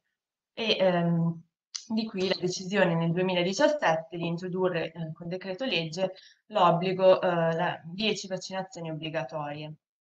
E, ehm, quindi mh, mm, diciamo che la questione che mi, mi pongo è eh, innanzitutto quindi se la pandemia può cambiare questa, uh, può determinare un cambiamento rispetto a questa situazione e più in particolare oggi ci stiamo proprio interrogando su uh, il ruolo che i vaccini contro il Covid potrebbero giocare nella crescere o ridurre, questo uh, si, si, vedrà, la fiducia nella, nella scienza. Ehm, diciamo che quando la pandemia è iniziata, alcuni studiosi hanno eh, pensato che eh, questa mm, potesse rappresentare un punto di svolta ehm, nel senso proprio di andare ad accrescere la fiducia nella scienza. Infatti, diciamo che la prima reazione della società Uh, come mm, abbiamo detto anche prima, della società, ma anche dei, governa dei, dei, governanti, del decisore pubblico, è stata quella di guardare proprio la comunità scientifica uh, in cerca di uh, soluzioni, di, di risposte. E, mh, però appunto si sono, poi una serie di elementi hanno fatto sì che ehm, la, realizzare l'accrescimento quindi della fiducia nella scienza, eh, non, questo risultato non fosse così, eh, così semplice. Eh, infatti mi sembra chiaro che ben presto diciamo, sentimenti di ehm, avversione o quantomeno diffidenza verso la comunità scientifica hanno iniziato a svilupparsi, diceva anche la professoressa Camporesi ehm, che ci sono studi appunto in questo senso eh, e, ehm, e, e, quindi la, mm, e, e, parallelamente hanno iniziato a circolare eh, teorie eh, pseudoscientifiche, addirittura eh, teorie te complottistiche. Ehm, e, questo è poi sfociato per esempio in molte eh, in alcune manifestazioni di negazionisti eh, no mask che eh, si sono verificate sostanzialmente nella quasi totalità dei paesi ehm, delle democrazie occidentali. Ehm, quindi la, eh, la questione, ehm, vorrei appunto analizzare alcune delle cause che hanno portato ehm, a ciò, eh, in particolare partendo da un'osservazione, cioè alcuni ehm, ci sono autori che, hanno, eh, che si sono occupati della materia della fiducia, della, della fiducia nella scienza che eh, hanno osservato come la fiducia eh, nel, mh, mm, nella scienza aumenti eh, tanto quanto eh, maggiore è la percezione eh, del, dell'esistenza di un consenso unanime nella comunità scientifica. E da questo punto di vista vediamo che questa percezione di unanimità del consenso rispetto a temi mh, relativi appunto al, al, al Covid-19 eh, sicuramente è mancata sin da subito. E eh, diciamo questo perché è mancata? Da, da, da un certo punto di vista è, è naturale, è stato fisiologico che mancasse perché eh, si, tra si, tratta di un virus nuovo rispetto a cui quindi ehm, cioè è normale che esista un margine di incertezza eh, molto ampio. Um, e quindi pretendere dalla scienza, diciamo, come abbiamo anche è già stato detto appunto prima di me, eh, pretendere certezze, risposte certe, eh, così eh, si era espresso um, il, il, ministro Boccia mh, nel, nella primavera dell'anno scorso, cioè la scienza deve darci delle risposte chiare e certe, in realtà eh, implica non conoscere, chiara, mm, non conoscere mh, esattamente quelle che sono le caratteristiche proprie eh, delle scienze empiriche, cioè quelle, quella di avere comunque, portare con sé un margine di incertezza. Eh, allo stesso tempo, ehm, diciamo che eh, non risulta neanche corretto ritenere che se la scienza quindi è incerta, allora ehm, il sapere scientifico è in qualche modo equiparabile a qualsiasi altro eh, tipo di eh, sapere. Questo perché eh, comunque, anche perché bisogna considerare che normalmente a fianco al a fianco di un certo uh, margine di incertezza, sussiste un nucleo di conoscenze che non vengono più messe in discussione e uh, che quindi uh, possono essere un punto di riferimento, rimangono un punto di riferimento. Um, quindi questo è un aspetto. Dal, dall'altro lato credo che Um, un, um, un, ruolo molto rilevante um, sia stato svolto dai media che eh, sono andate a, a, a credo abbiano contribuito molto a, a, a crescere la percezione eh, del, del, contrasto eh, all'interno della comunità scientifica, cioè abbiano presentato la comunità scientifica ancora più divisa di quello che effettivamente eh, era. Questo, mh, questo diciamo, dando, dando, voce a esperti o presunti tali che ehm, si sono per esempio andati a, a ad esprimere su eh, temi che non rientravano in realtà nella loro area eh, di specializzazione, oppure ehm, appunto sono andati eh, a, sostenere, eh, quindi con dichiarazioni pubbliche, eh, tesi non supportate da studi eh, né tantomeno da pubblicazioni su riviste scientifiche. E ehm, quindi in questo modo sostanzialmente ehm, diciamo degli esperti che hanno sostenuto tesi però mh, prive di fondamento scientifico si sono trovati al centro del dibattito pubblico ehm, e la percezione quindi è stata quella di una forte divisione anche su magari temi eh, e ehm, argomenti rispetto a cui l'incertezza eh, era in realtà molto meno ehm, elevata. Um, e um, questo mi, mi collego a ciò si collega strettamente un altro aspetto che penso, credo molto rilevante, cioè ehm, a, la, a, con, a, contribuire fortemente ad incrementare il senso di sfiducia, di scetticismo verso la scienza, durante la pandemia eh, è stato eh, in gran parte anche il comportamento di esponenti della comunità scientifica.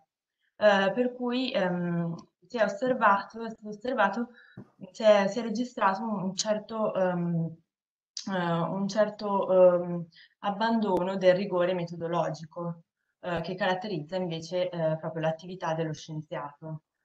e questo appunto ha ricadute molto negative poi sulla percezione che la società ha dell'affidabilità della, della, della, della scienza, della comunità scientifica.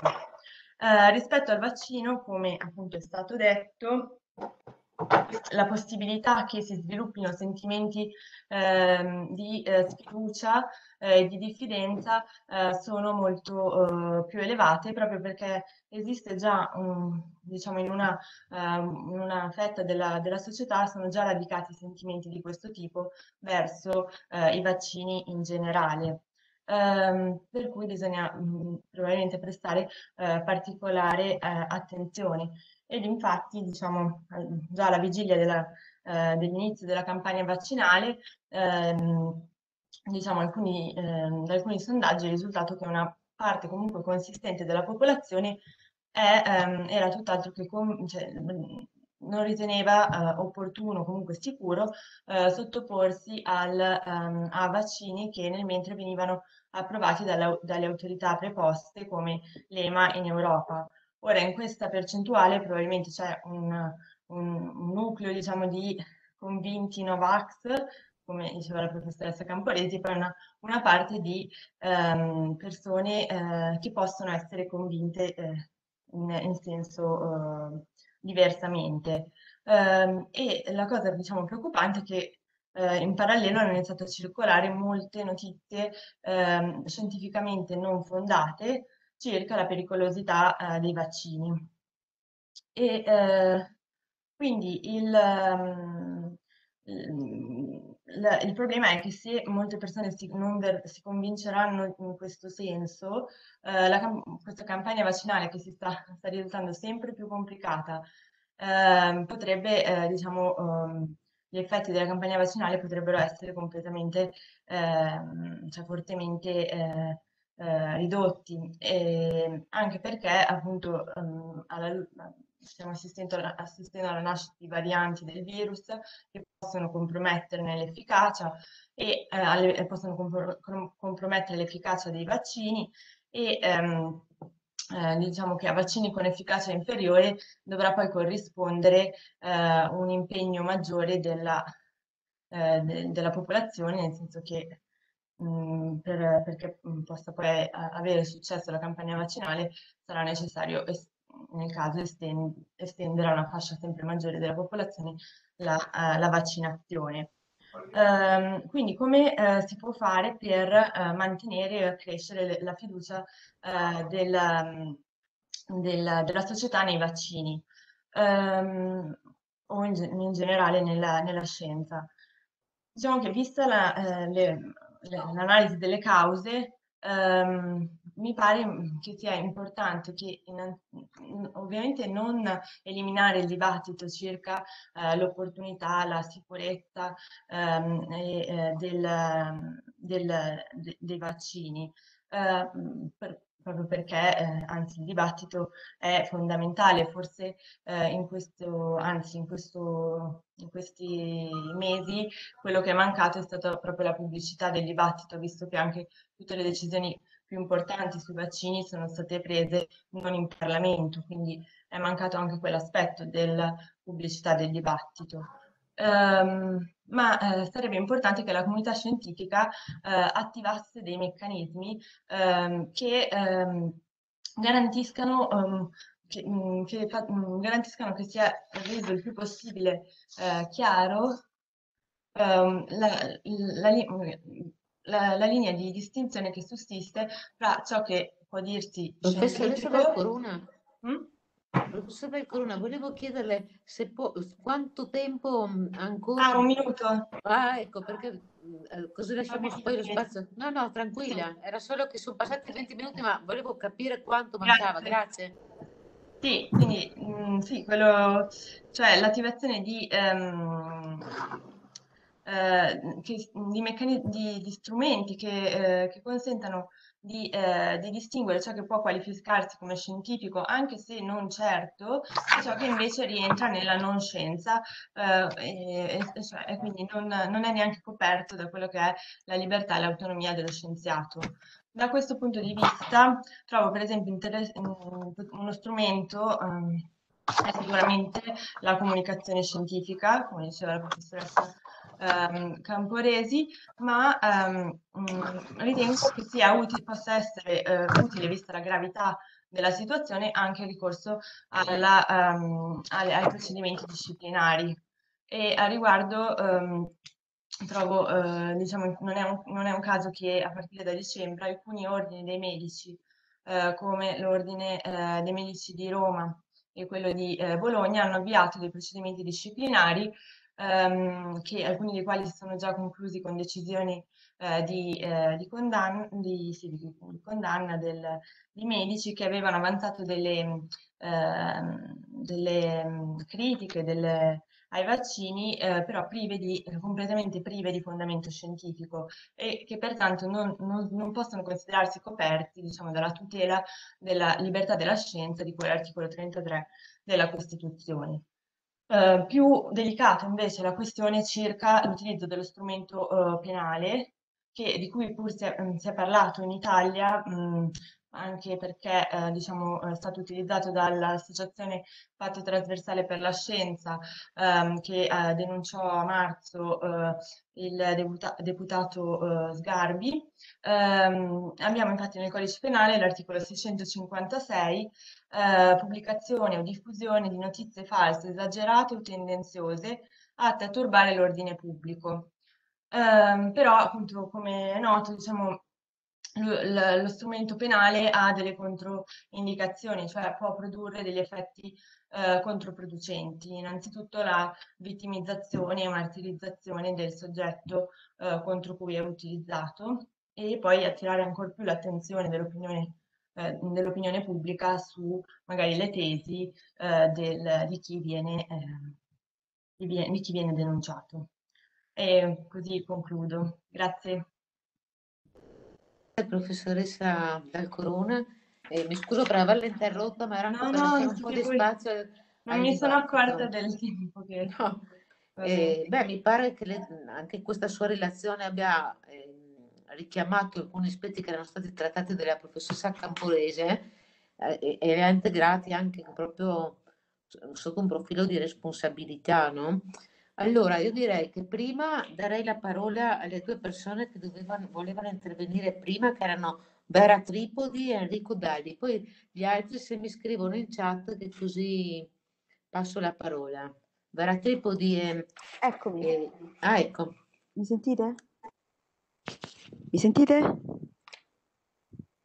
Ah, ok. Sì, eh, ringrazio anch'io le, le, le relatrici per la stimolante e interessante relazione. E io volevo appunto fare una domanda riguardante, che avevo pensato per la, per la dottoressa Camporesi, ma insomma magari si dice anche alla, alla dottoressa del Corona, visto che hanno trattato temi affini. Vale a dire eh, su quelle che potrebbero essere le strategie da mettere in atto per mh, contrastare o quantomeno mitigare eh, la questione dell'esitazione rispetto appunto alla, alla fiducia e alla affidabilità no? che noi attribuiamo alla scienza e alle persone competenti. E, mh, mi chiedevo se eh, una di queste strategie potrebbe essere quella di um, eh, analizzare un fenomeno che si è cominciato un po' a, um, eh, ad analizzare in epistemologia in etica, eh, vale a dire il fatto che ehm, esistono dei meccanismi talvolta anche inconsci, per cui noi siamo portati a attribuire o una eccessiva credibilità ad alcuni soggetti, eh, molta più credibilità rispetto a quanto appunto questi meriterebbero, oppure ad ehm, attribuire un minore, un deficit, come dire, di credibilità uh, di, quelle, di, quello che invece appunto alcune persone meriterebbe, merite, meriterebbero. E, um, e questo appunto è un fenomeno molto, molto sottile, c'è una filosofa che si chiama Miranda Fricker che sta per esempio analizzando questo non, mh, non nel campo della medicina, ci sono altri studiosi, anche i suoi allievi e sue allieve che stanno um, si stanno occupando appunto di questo fenomeno del deficit eh, di credibilità nei processi appunto di attribuzione di fiducia, di, di affidabilità, eh, che trovo appunto molto interessanti. Quindi non so se la dottoressa Camporesi, che ha diciamo un background più filosofico ed etico, ha mh, qualcosa da dire al riguardo, se conosce questi studi. Grazie. Sì, grazie Vera, eh, domanda, eh, commento eccellente. Infatti stavo pensando a Miranda Fricker, Epistemic Injustice. Miranda Fricker appunto ha sviluppato il concetto di giustizia epistemica che è all'intersezione di etica e epistemologia, in cui eh, ci sono due tipi, eh, testi- giustizia, ingiustizia epistemica che di solito viene attribuito a un deficit di credibilità di alcuni tipi, di alcune categorie della popolazione che in modo sistematico eh, non vengono reputate degne di produrre conoscenza. Possiamo pensare a categorie di persone con malattie mentali, ma anche in alcuni contesti sociali, alcune categorie come eh, di minoranze etniche. L'esempio classico di Miranda Fricker era eh, eh, la, il, l'esempio del, del, giardino segreto si, eh, in cui un, l'afroamericano, la sua testimonianza non viene reputata degna e, ehm, e, viene condannato a morte. In realtà non era stato lui. Uh, era stato lui colpevole. Ma d'altra parte, oltre al um, deficit di credibilità, ci sono alcune categorie di persone, quindi altrettanto interessanti, a cui viene attribuito un eccesso di credibilità e questi possono essere eh, leader politici e in questo caso infatti eh, riguardo all'esitazione dei vaccini, lo studio in cui ho citato brevemente della scienziata politica, della politologa dell'Università di Vienna, Katarina Kislich, che andava a vedere la crescente esitazione in Europa, va anche fatto risalire al fatto che abbiamo movimenti populisti, compreso il Movimento 5 Stelle in Italia, ma anche eh, beh, negli Stati Uniti oltreoceano Trump che ha detto i bambini non sono mucche, non possiamo dare lo stesso um, va- numero di vaccini ai bambini o altri esempi simili in cui eh, coloro che vengono che, sono, che esitano ai vaccini viene data una nuova piattaforma, pol- viene strumentalizzata l'esitazione ai vaccini. Ehm, quindi si ha appunto la, vengono messe assieme anti-vaxxer, coloro per cui le fake news, e come, di cui parlava prima in modo molto interessante eh, Lavinia del, del Corona, e cui c'è una responsabilità dello scienziato, della professione medica scientifica di non eh, diffondere eh, notizie che sono ovviamente false. Ehm, quindi sicuramente le strategie di comunicazione efficace devono andare anche a tenere in conto l'eccesso di credibilità di alcuni tipi di persone. Io penso che ehm, è un problema molto complesso, mh, mm, ma non è in- impossibile. Ci vogliono strategie di comunicazione efficace, organizzata, investimenti, fondi, eh, soldi che vanno a, ehm, da esperti che hanno, io non sono una comunicatrice della scienza, io vado, mi, appunto il mio background è di etica, filosofia della medicina e ho lavorato su questioni di fiducia nella scienza con colleghi sociologi ehm, nell'ambito pre-Covid dei vaccini, quindi sappiamo quali sono i, i motivi svariati di coloro che esitano. Possiamo andare a fare campagne non dobbiamo convincere tutti, dobbiamo convincerne alcuni. Dire che i dubbi sono legittimi, che i dubbi fanno bene alla vita, ma poi lasciarli detti così non serve. Qual è il, il messaggio? Per cui mi fermo qui, sicuramente eh, la mia collega avrà altre cose da aggiungere. Professoressa del Corona? Sì, no, ehm, appunto aggiungerei che ehm, penso che in queste situazioni, là dove c'è incertezza, sia ancora più importante dare eh, importanza a quelle che sono le regole proprio del, eh, del metodo scientifico, come, come si diceva, e, e, e, quindi anche per capire a chi rivolgersi, a quali informazioni dare rilevanza. Poi ci sono tutte all'interno della comunità scientifica una serie di, eh, di regole eh, che, che possono, uh, possono, svolgere una funzione di orientamento in qualche modo, per cui ehm, eh, anche dare, eh, dare rilevanza a questi, a questi aspetti. Che, eh, questo forse è un compito di chi si occupa di, eh, di, di comunicazione. Grazie. Enrico Dali che prima aveva chiesto di intervenire, poi eh, sono, sono io. Mi, mi, sentite? Mi sentite? Sì, sì, sì, sì la sentiamo sì. bene. Eh, io volevo fare una domanda sia a quelli che si occupano di, di epistemologia che, che, anche al professor Mori, perché eh, come ha detto prima il professor Garattini, in Italia di, di, proprio la cultura in genere non, eh, non è, cioè, il termine stesso cultura non rinvia, non rinvia alla scienza. Una persona colta non è uno che conosce di fisica, di matematica, c'è una persona colta, uno che sa di letteratura, eccetera. Nel nostro paese penso che sia così. Presum, premetto che io sono stato a scuola dei preti, ho fatto liceo classico, ho studiato filosofia e giurisprudenza ed è una cosa che mi dà una tristezza infinita perché avrei sognato di essere uno scienziato. Ci ho pure provato, non ci sono riuscito, però fa lo stesso. E quindi ehm, volevo chiedere al professor Mori o comunque a che cosa è dovuto questo, perché secondo me ehm, si può dire l'influenza della Chiesa Cattolica, eccetera, però io ci ho sempre trovato un'influenza diversa. Per esempio il fatto che in Italia ci sia stato un grande partito comunista, così come anche in Francia, e che nel, in quelli, nell'ideologia, il partito comunista riteneva la scienza l'ideologia della borghesia. Questa, questa, questa, questa cosa esiste, c'è anche per esempio in Ludovico Geimonat, cioè Ludovico Geimonat all'inizio, ne avevo parlato con il professor Pasini, concepisce la, la scienza come un'impresa di carattere veritativo e poi dopo arriva alla, alla fine a sostenere che la scienza è l'ideologia delle classi dominanti, eccetera. Però io qua mi occupo, mi occupo di, di Basaglia e quindi la, la professoressa è a Trieste. Tante di queste critiche furono adottate da Basaglia nei confronti della psichiatria. Basaglia diceva che la psichiatria era la brutta copia della medicina e della scienza, però diceva che aveva un carattere ideologico, che da un lato c'erano i potenti borghesi e, e in basso curati c'erano i proletari e i sottoproletari l'assenza di democraticità della scienza non è democratica. Basaglia voleva una comunità terapeutica che fosse assolutamente democratica. Poi, quando si dice che la scienza non è democratica, si dice che i metodi della scienza non sono democratici, però poi dopo in realtà il problema del rapporto tra medico e paziente è quello lì, deve essere assolutamente democratizzato.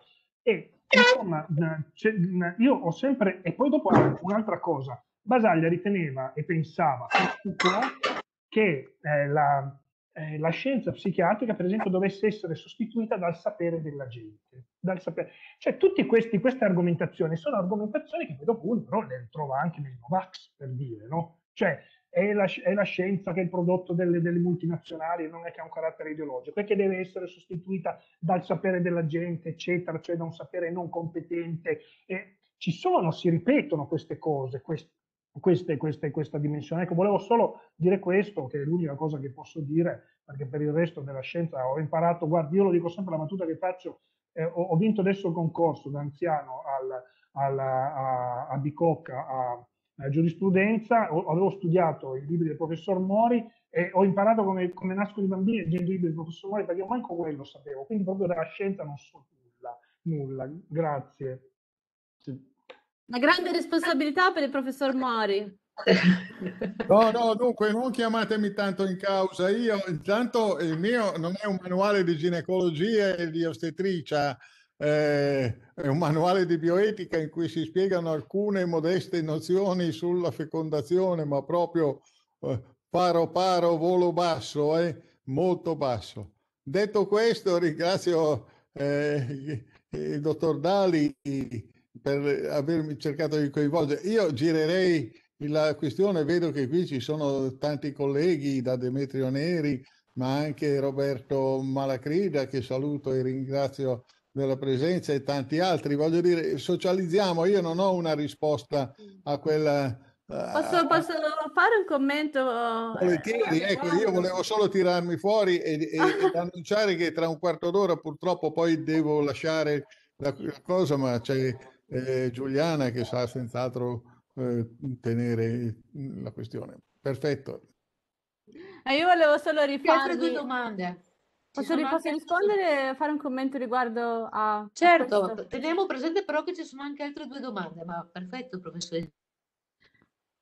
Ma brevemente, riguardo all'importanza eh, della, dell'educazione, dell'istruzione e del superamento delle famose due culture di cui parlava Charles No in Italia. Ci sono esempi e tentativi uh, ma anche che, che durano da vari anni. Io sono un'allieva del Collegio Superiore dell'Università di Bologna che va a cercare di offrire una cultura interdisciplinare che si va ad aggiungere in parallelo a quello al, al campo di studi dello studente universitario. Questo è un esperimento che dura ormai da, um, da più di vent'anni. E sempre all'Università di Bologna c'è ehm, eh, Parliamone Ora, che è un forum in cui membri del, dell'Università di Bologna cercano appunto di superare questa divisione fra le due culture, raggiungendo un pubblico più ampio e portando le loro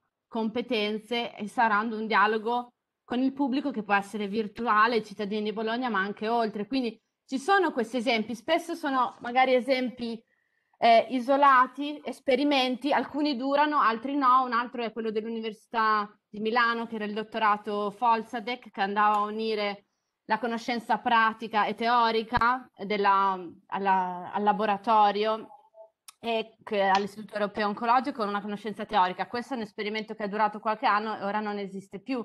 Per, è perché magari non c'è un investimento, non c'è quella progettualità di cui parlava Garattini, quindi pensando veramente alle generazioni future.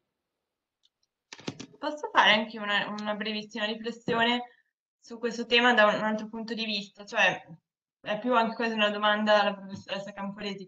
Ho un po' riflettuto, studiando un po' filosof- mm, gli autori di, di, filosofi della scienza del, di fine Ottocento e poi inizio Novecento, eh, mi, è, mi, è, sembrato che eh, mentre con appunto la cosiddetta svolta relativistica, cioè si è passati da una situazione in cui la scienza era ehm, quasi idolatrata come sapere perfetto, certo, oggettivo, a una, una, una situazione in cui mettendo in luce quelli che erano effettivamente degli aspetti ehm, eh, delle, delle debolezze del positivismo, ehm, si è passati poi a, a, a una, una, visione relativistica che eh, però ha, fatto, ha, posto, ha indebolito molto l'idea che ci sia una differenza tra sapere scientifico e altri saperi, tra eh, scienza e opinione.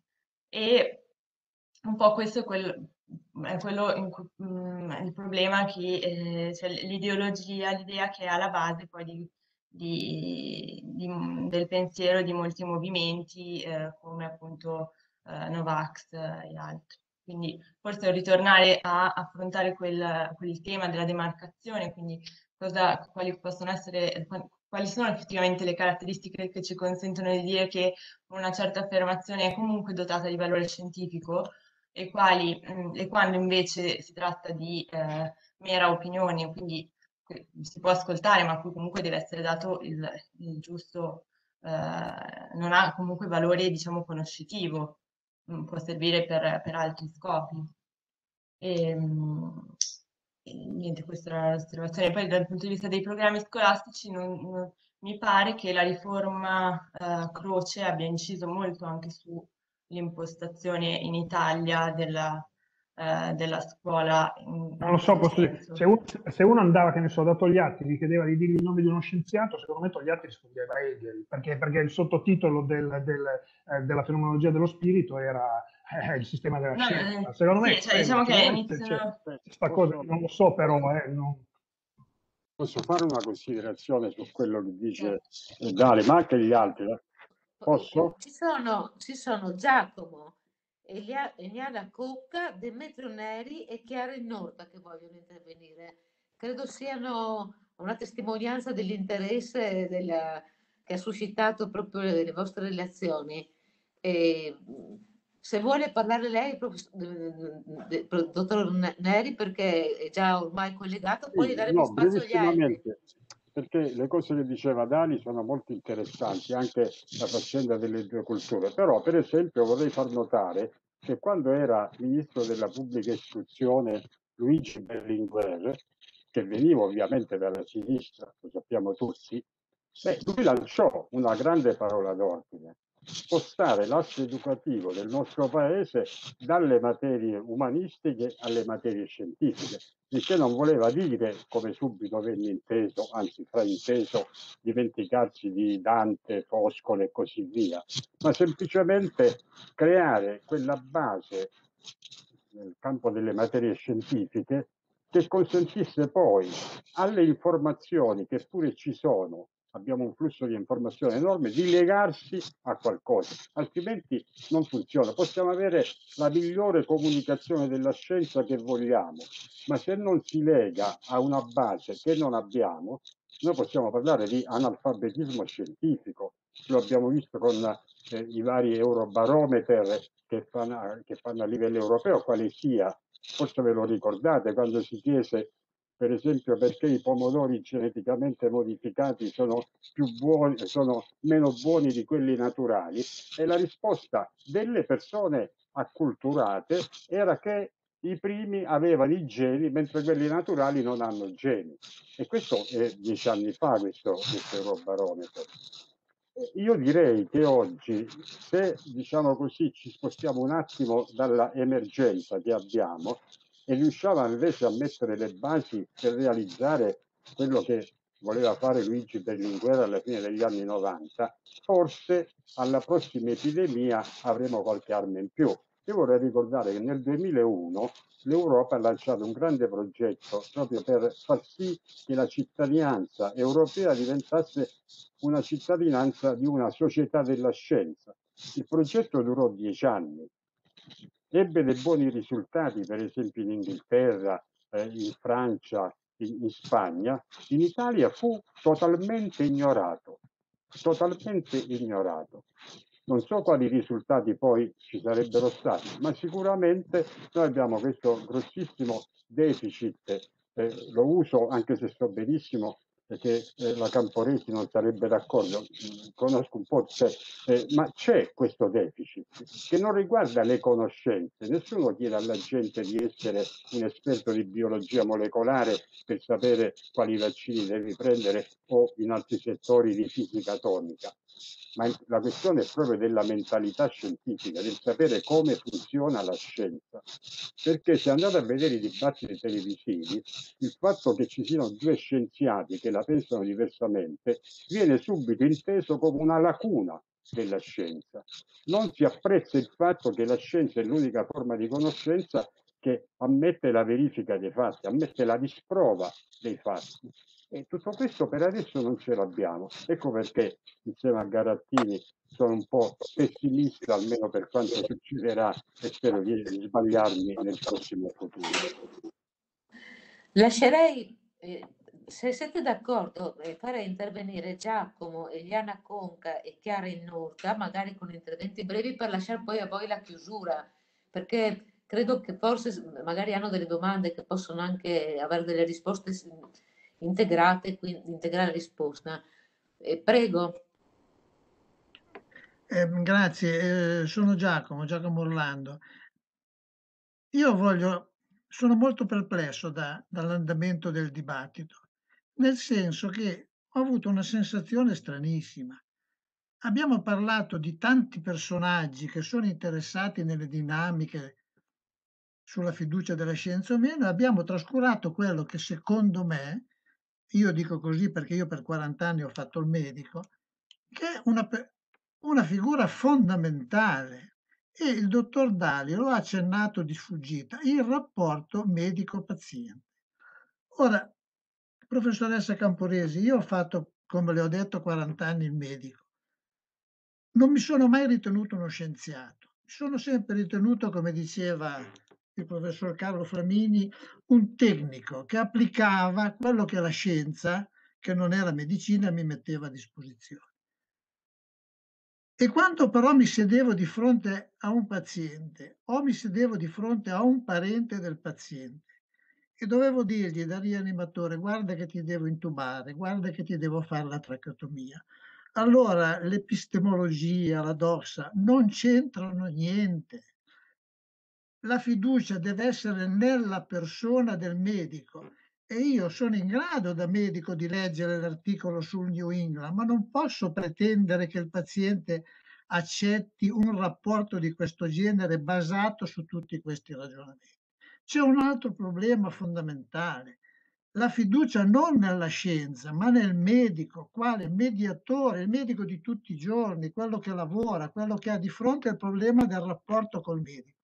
Se noi non siamo in grado di capire che il nodo della questione è questo, io ho fatto il mio lavoro e ho visto cambiare la fiducia nel medico, non nella scienza, l'ho vista cambiare in maniera drammatica in 40 anni. Ma non è mai finita la la fiducia nella scienza, anzi forse si è chiesto troppo alla scienza, si è creduto che la scienza potesse risolvere tutto, ma quello che è crollato in maniera incredibile è il rapporto di fiducia col medico. E chiudo rapidamente mi scuso se mi sono troppo accalorato, ma qualche anno fa la nostra associazione, la Consulta di Bioetica, ha organizzato a Roma un convegno sui problemi del fine vita e ha invitato il professor Verhagen, che era il presidente, che è il presidente della commissione che ha steso il protocollo per l'eutanasia attiva nei minori. Ha fatto la sua esposizione, a un certo punto uno del pubblico gli ha detto l'opinione pubblica olandese come ha reagito a questa vostra proposta? E la risposta è stata gli olandesi hanno, figu- hanno fiducia nei medici. Non ha detto fiducia nella scienza, perché io non posso andare a raccontare alle nanoparticelle che avvolgono il vaccino contro il Covid, però devo essere sicuro che il mio rapporto col paziente è impostato in maniera corretta.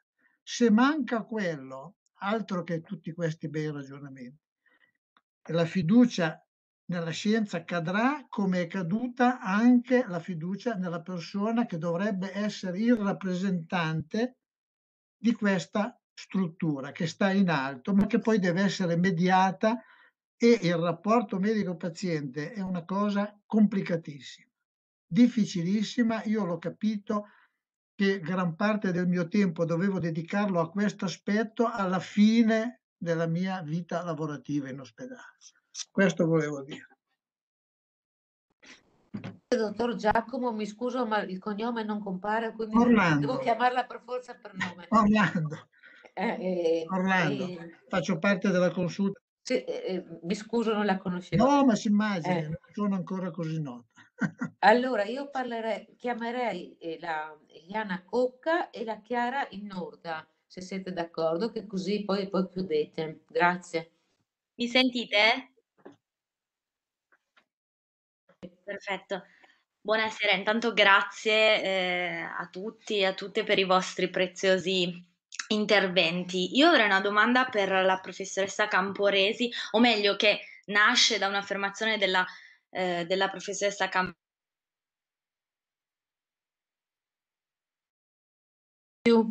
Non si sente, è caduta la connessione, credo. È caduta. Ehm, Chiara Innorda, puoi intanto intervenire che così ottimizziamo i tempi? Il tempo della Eliana. Va bene, ok. Eh, posso? Forse è tornata Eliana? Faccio una domanda. Mi avevate perso? Sì, l'avevamo, l'avevamo persa, sì. Se volete faccio passare Chiara, non c'è problema. Come volete. Finisce Eliana, non ti preoccupare. Ok. Non so, non so fin dove avete, avete ascoltato. Ecco, È arrivata, voleva fare una domanda alla professoressa Camporesi. Ok, la domanda nasce appunto da una riflessione eh, iniziale della, della professoressa, cioè che la fiducia nella scienza è strettamente eh, legata, comunque influenzata anche dai media.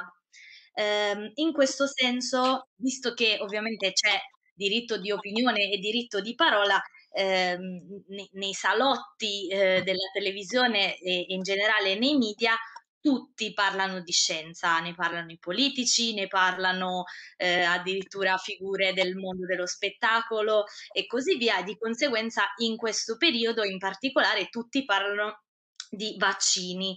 Ehm, io mi chiedo se eh, sia eticamente legittimo eh, sanzionare le reti private che in questo periodo contribuiscono alla diffusione di fake news, invitando personaggi discutibili che non hanno alcuna competenza di fronte a un pubblico di milioni di persone che vengono messi a eh, diciamo, discutere con invece persone esperte che sanno di cosa stanno parlando, che cercano di spiegare e eh, raccontare, diciamo, quelle che sono le, le idee della scienza. Ecco, era solo uno spunto per capire se questa mia eh, posizione è, è pericolosa o, o, comunque è giuridicamente a ostacoli insormontabili o se eh, appunto possa eh, avvenire da parte del, del, controllo pubblico quello che avviene per esempio nelle piattaforme social private come Twitter che se Trump scrive che eh, i vaccini sono un'assurdità gli cancellano il tweet punto perché non c'è niente di cui discutere su questo nel momento in cui tu hai l'influenza, sei una figura influente e hai milioni e milioni di persone che ti leggono e hai anche una responsabilità politica e civile nei confronti di chi ti legge chi ti as- e ti ascolta come ce l'ha ce l'hanno le reti e i programmi che si definiscono di informazione. Questo. Grazie. Sentiamo anche Chiara in nota, che così forse magari la risposta può essere anche integrata. Grazie. Sì, in parte diciamo la mia osservazione può essere anche ricollegata a quello che ha detto Eliana, non totalmente, ma sotto un certo punto di vista. In quanto pur essendo d'accordo sull'importanza di un'educazione alla scienza, nel comprendere il ruolo della scienza e come effettivamente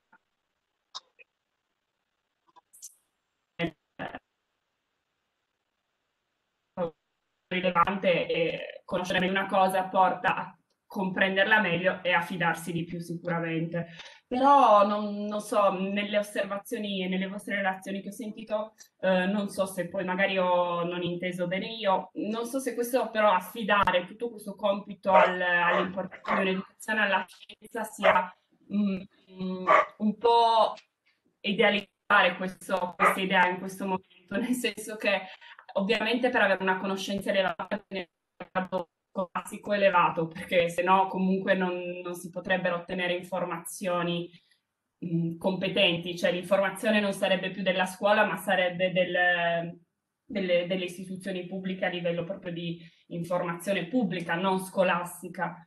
E, e quindi se il senso eh, di eh, comprendere l'importanza di vaccinarsi non dipende effettivamente da una competenza scientifica, ma da competenze che potrebbero essere apprese anche nel percorso scolastico, ma intese più come formazione individuale, nel senso che io credo che l'importanza di vaccinarsi dipenda anche dal fatto che siamo una collettività che ha bisogno di un'idea comune e che sia scientifica o direzionata ad altro deve dipendere dal fatto che è importante farlo e quindi cioè, solo non saprei se ampliare eh, il presupposto dell'educazione su più fronti. Ecco.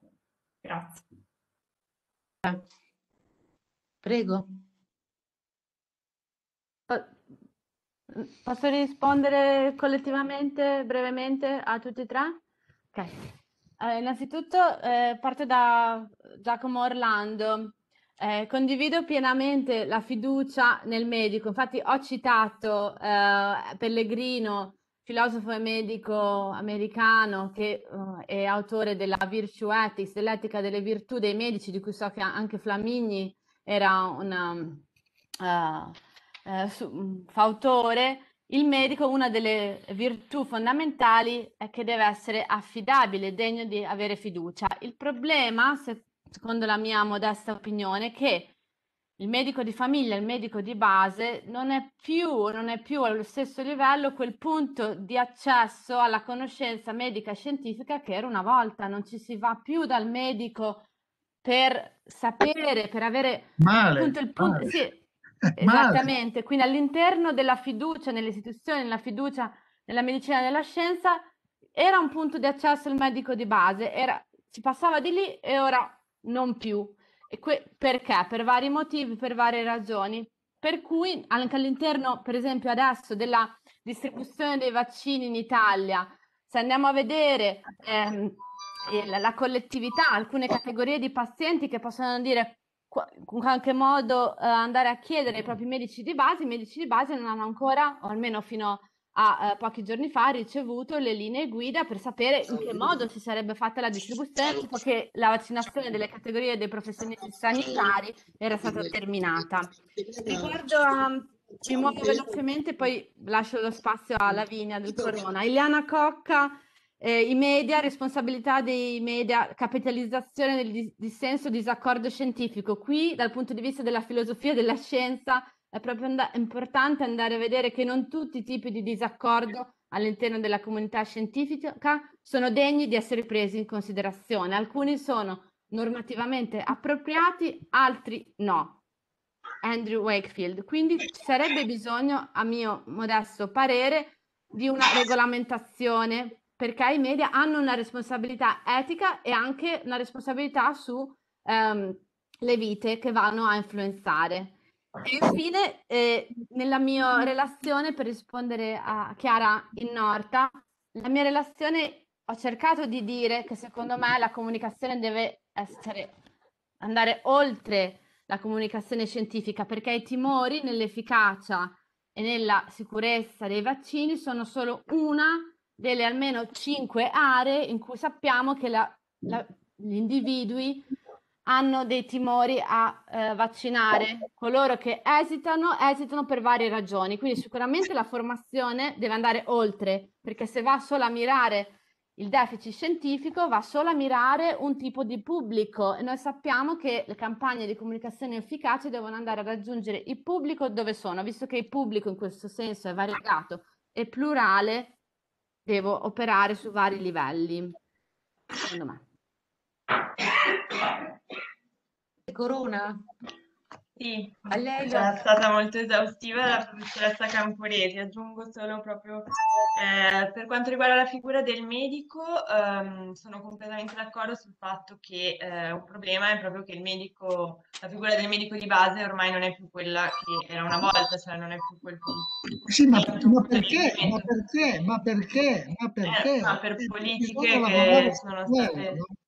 E, e la, ho, volevo sottolineare appunto come credo tra l'altro che sia particolarmente grave, eh, siano particolarmente gravi quegli episodi che abbiamo avuto in Italia e anche eh, all'estero di medici eh, di base che eh, abbiano, hanno addirittura sconsigliato, cioè han, hanno sostenuto tesi eh, scientificamente infondate, quindi in questo caso l'utilizzo della sanzione disciplinare sia comunque corretto. Se non, non, si tratta di, di, di tesi mm, che, che, non hanno fondamento scientifico, che non giustificabili in, in, alcun modo. Ovviamente poi possono esserci posizioni diverse dei, degli stessi medici di base su alcuni temi, però mh, mm, appunto si tratta sempre di, di, in quel senso di delimitare anche l'area della scientificità, anche rispetto alla figura del medico che non è appunto, eh, non può dire, consigliare qualsiasi cosa al paziente. E, ehm, per quanto riguarda invece la domanda di eh, ehm, Eliana Cocca, eh, diciamo che dal punto di vista giuridico eh, eh sicuramente c'è una mancanza di, eh, di regolamentazione. Si, può, cioè, si potrebbe ipotizzare, sarebbero possibili probabilmente degli interventi dell'autorità garante che è proprio preposta a controllare comunque il livello eh, del, del, servizio offerto agli utenti, eh, che sarebbe quindi eh, la GCOM, eh, fino ad arrivare anche all'ipotesi di sanzione penale, come dicevo nel mio intervento, eh, nei casi, nei casi più gravi eh, di, eh, in cui si sostengano proprio eh, notizie false che possono creare un vero e proprio pericolo pubblico e in una situazione quale quella, de- quale quella di una pandemia eh, non è del tutto impensabile che si possano creare delle situazioni di questo tipo. Um, e vorrei sottolineare, non ne abbiamo parlato forse tantissimo, eh, dei social network, che diceva la professoressa Camporesi, eh, c'è bisogno di una regolamentazione e credo proprio di sì, proprio perché ehm, soprattutto per un aspetto. Eh, il, la scienza, il metodo scientifico si basa sul confronto e così dovrebbe essere anche appunto il dibattito su questioni scientifiche. I social network ormai dimostrano... Beh, mm, se non fosse possibile il dibattito non, non, non sarebbe neanche possibile convincere l'altro che, che, che, ha, che ha torto sostanzialmente. E, la, la, è dimostrato che diciamo, il, il, meccanismo di funzionamento dei social network è tale da ridurre, per assurdo ridurre il confronto, per cui eh, chi si convince magari sulla base di, eh, di, di appunto seguendo per, personaggi esperti che sostengono tesi sbagliate, rischia di non avere un confronto, di, di essere sempre più indirizzato verso quella tesi e, ehm, e quindi rinchiudersi in, in, in posizioni eh, di un certo tipo. Quindi forse da questo punto di vista eh, appunto sono già iniziate delle, delle politiche di questo, di questo tipo. E per quanto riguarda uh, l'ultima domanda, uh, sicuramente noi oggi abbiamo affrontato l'aspetto della fiducia nella scienza, ma c'è anche tutto l'aspetto di eh, educazione civica dei cittadini e ehm, come diceva anche il professor Garattini, anche eh, il principio scientifico per cui eh, a dei benefici normalmente corrispondono anche dei sacrifici, che quindi ehm, dovrebbe, forse si è perso in, una, in, in, un'epoca in cui godiamo di molti benefici e non, forse non sappiamo più riconoscere eh, il perché eh, e a che sacrifici corrispondono i benefici di cui stiamo godendo. E... Grazie per tutte le, le, domande molto interessanti e, e stimolanti. Ma ho visto che abbiamo, siamo arrivati alle 19.15, siamo andati un po' oltre, ma credo proprio sia l'interesse delle domande, ma anche i commenti in chat e forse avremmo avuto bisogno di un po' più di tempo, speriamo ci siano altre opportunità per rincontrarci. Io vi ringrazio veramente molto, ringrazio anche la consulta che mi ha accordato questa fiducia di moderare questa sessione, per me è stata veramente molto interessante. E, e qualcuno chiedeva se è stata registrata, eh, però questo io non so rispondere. Eh, chiederò domani magari alla consulta. È, è registrata, è registrata. Ah, perfetto, perfetto perché credo che appunto i contenuti erano tanti, magari riascoltarli, approfondirli. Voi avete fatto anche riferimento a molti autori che non tutti conoscono, no? magari uno dice voglio approfondire, ricerco il nome dell'autore, il tema. Io veramente ringrazio, eh, per me è stata veramente molto molto interessante, ripeto, credo anche per gli altri, visto che sono ancora tanti in linea e tutti quelli che sono andati via si sono scusati e dispiaciuti. E spero veramente ci siano altre opportunità, vi ringrazio molto e buona serata a tutti. Arrivederci.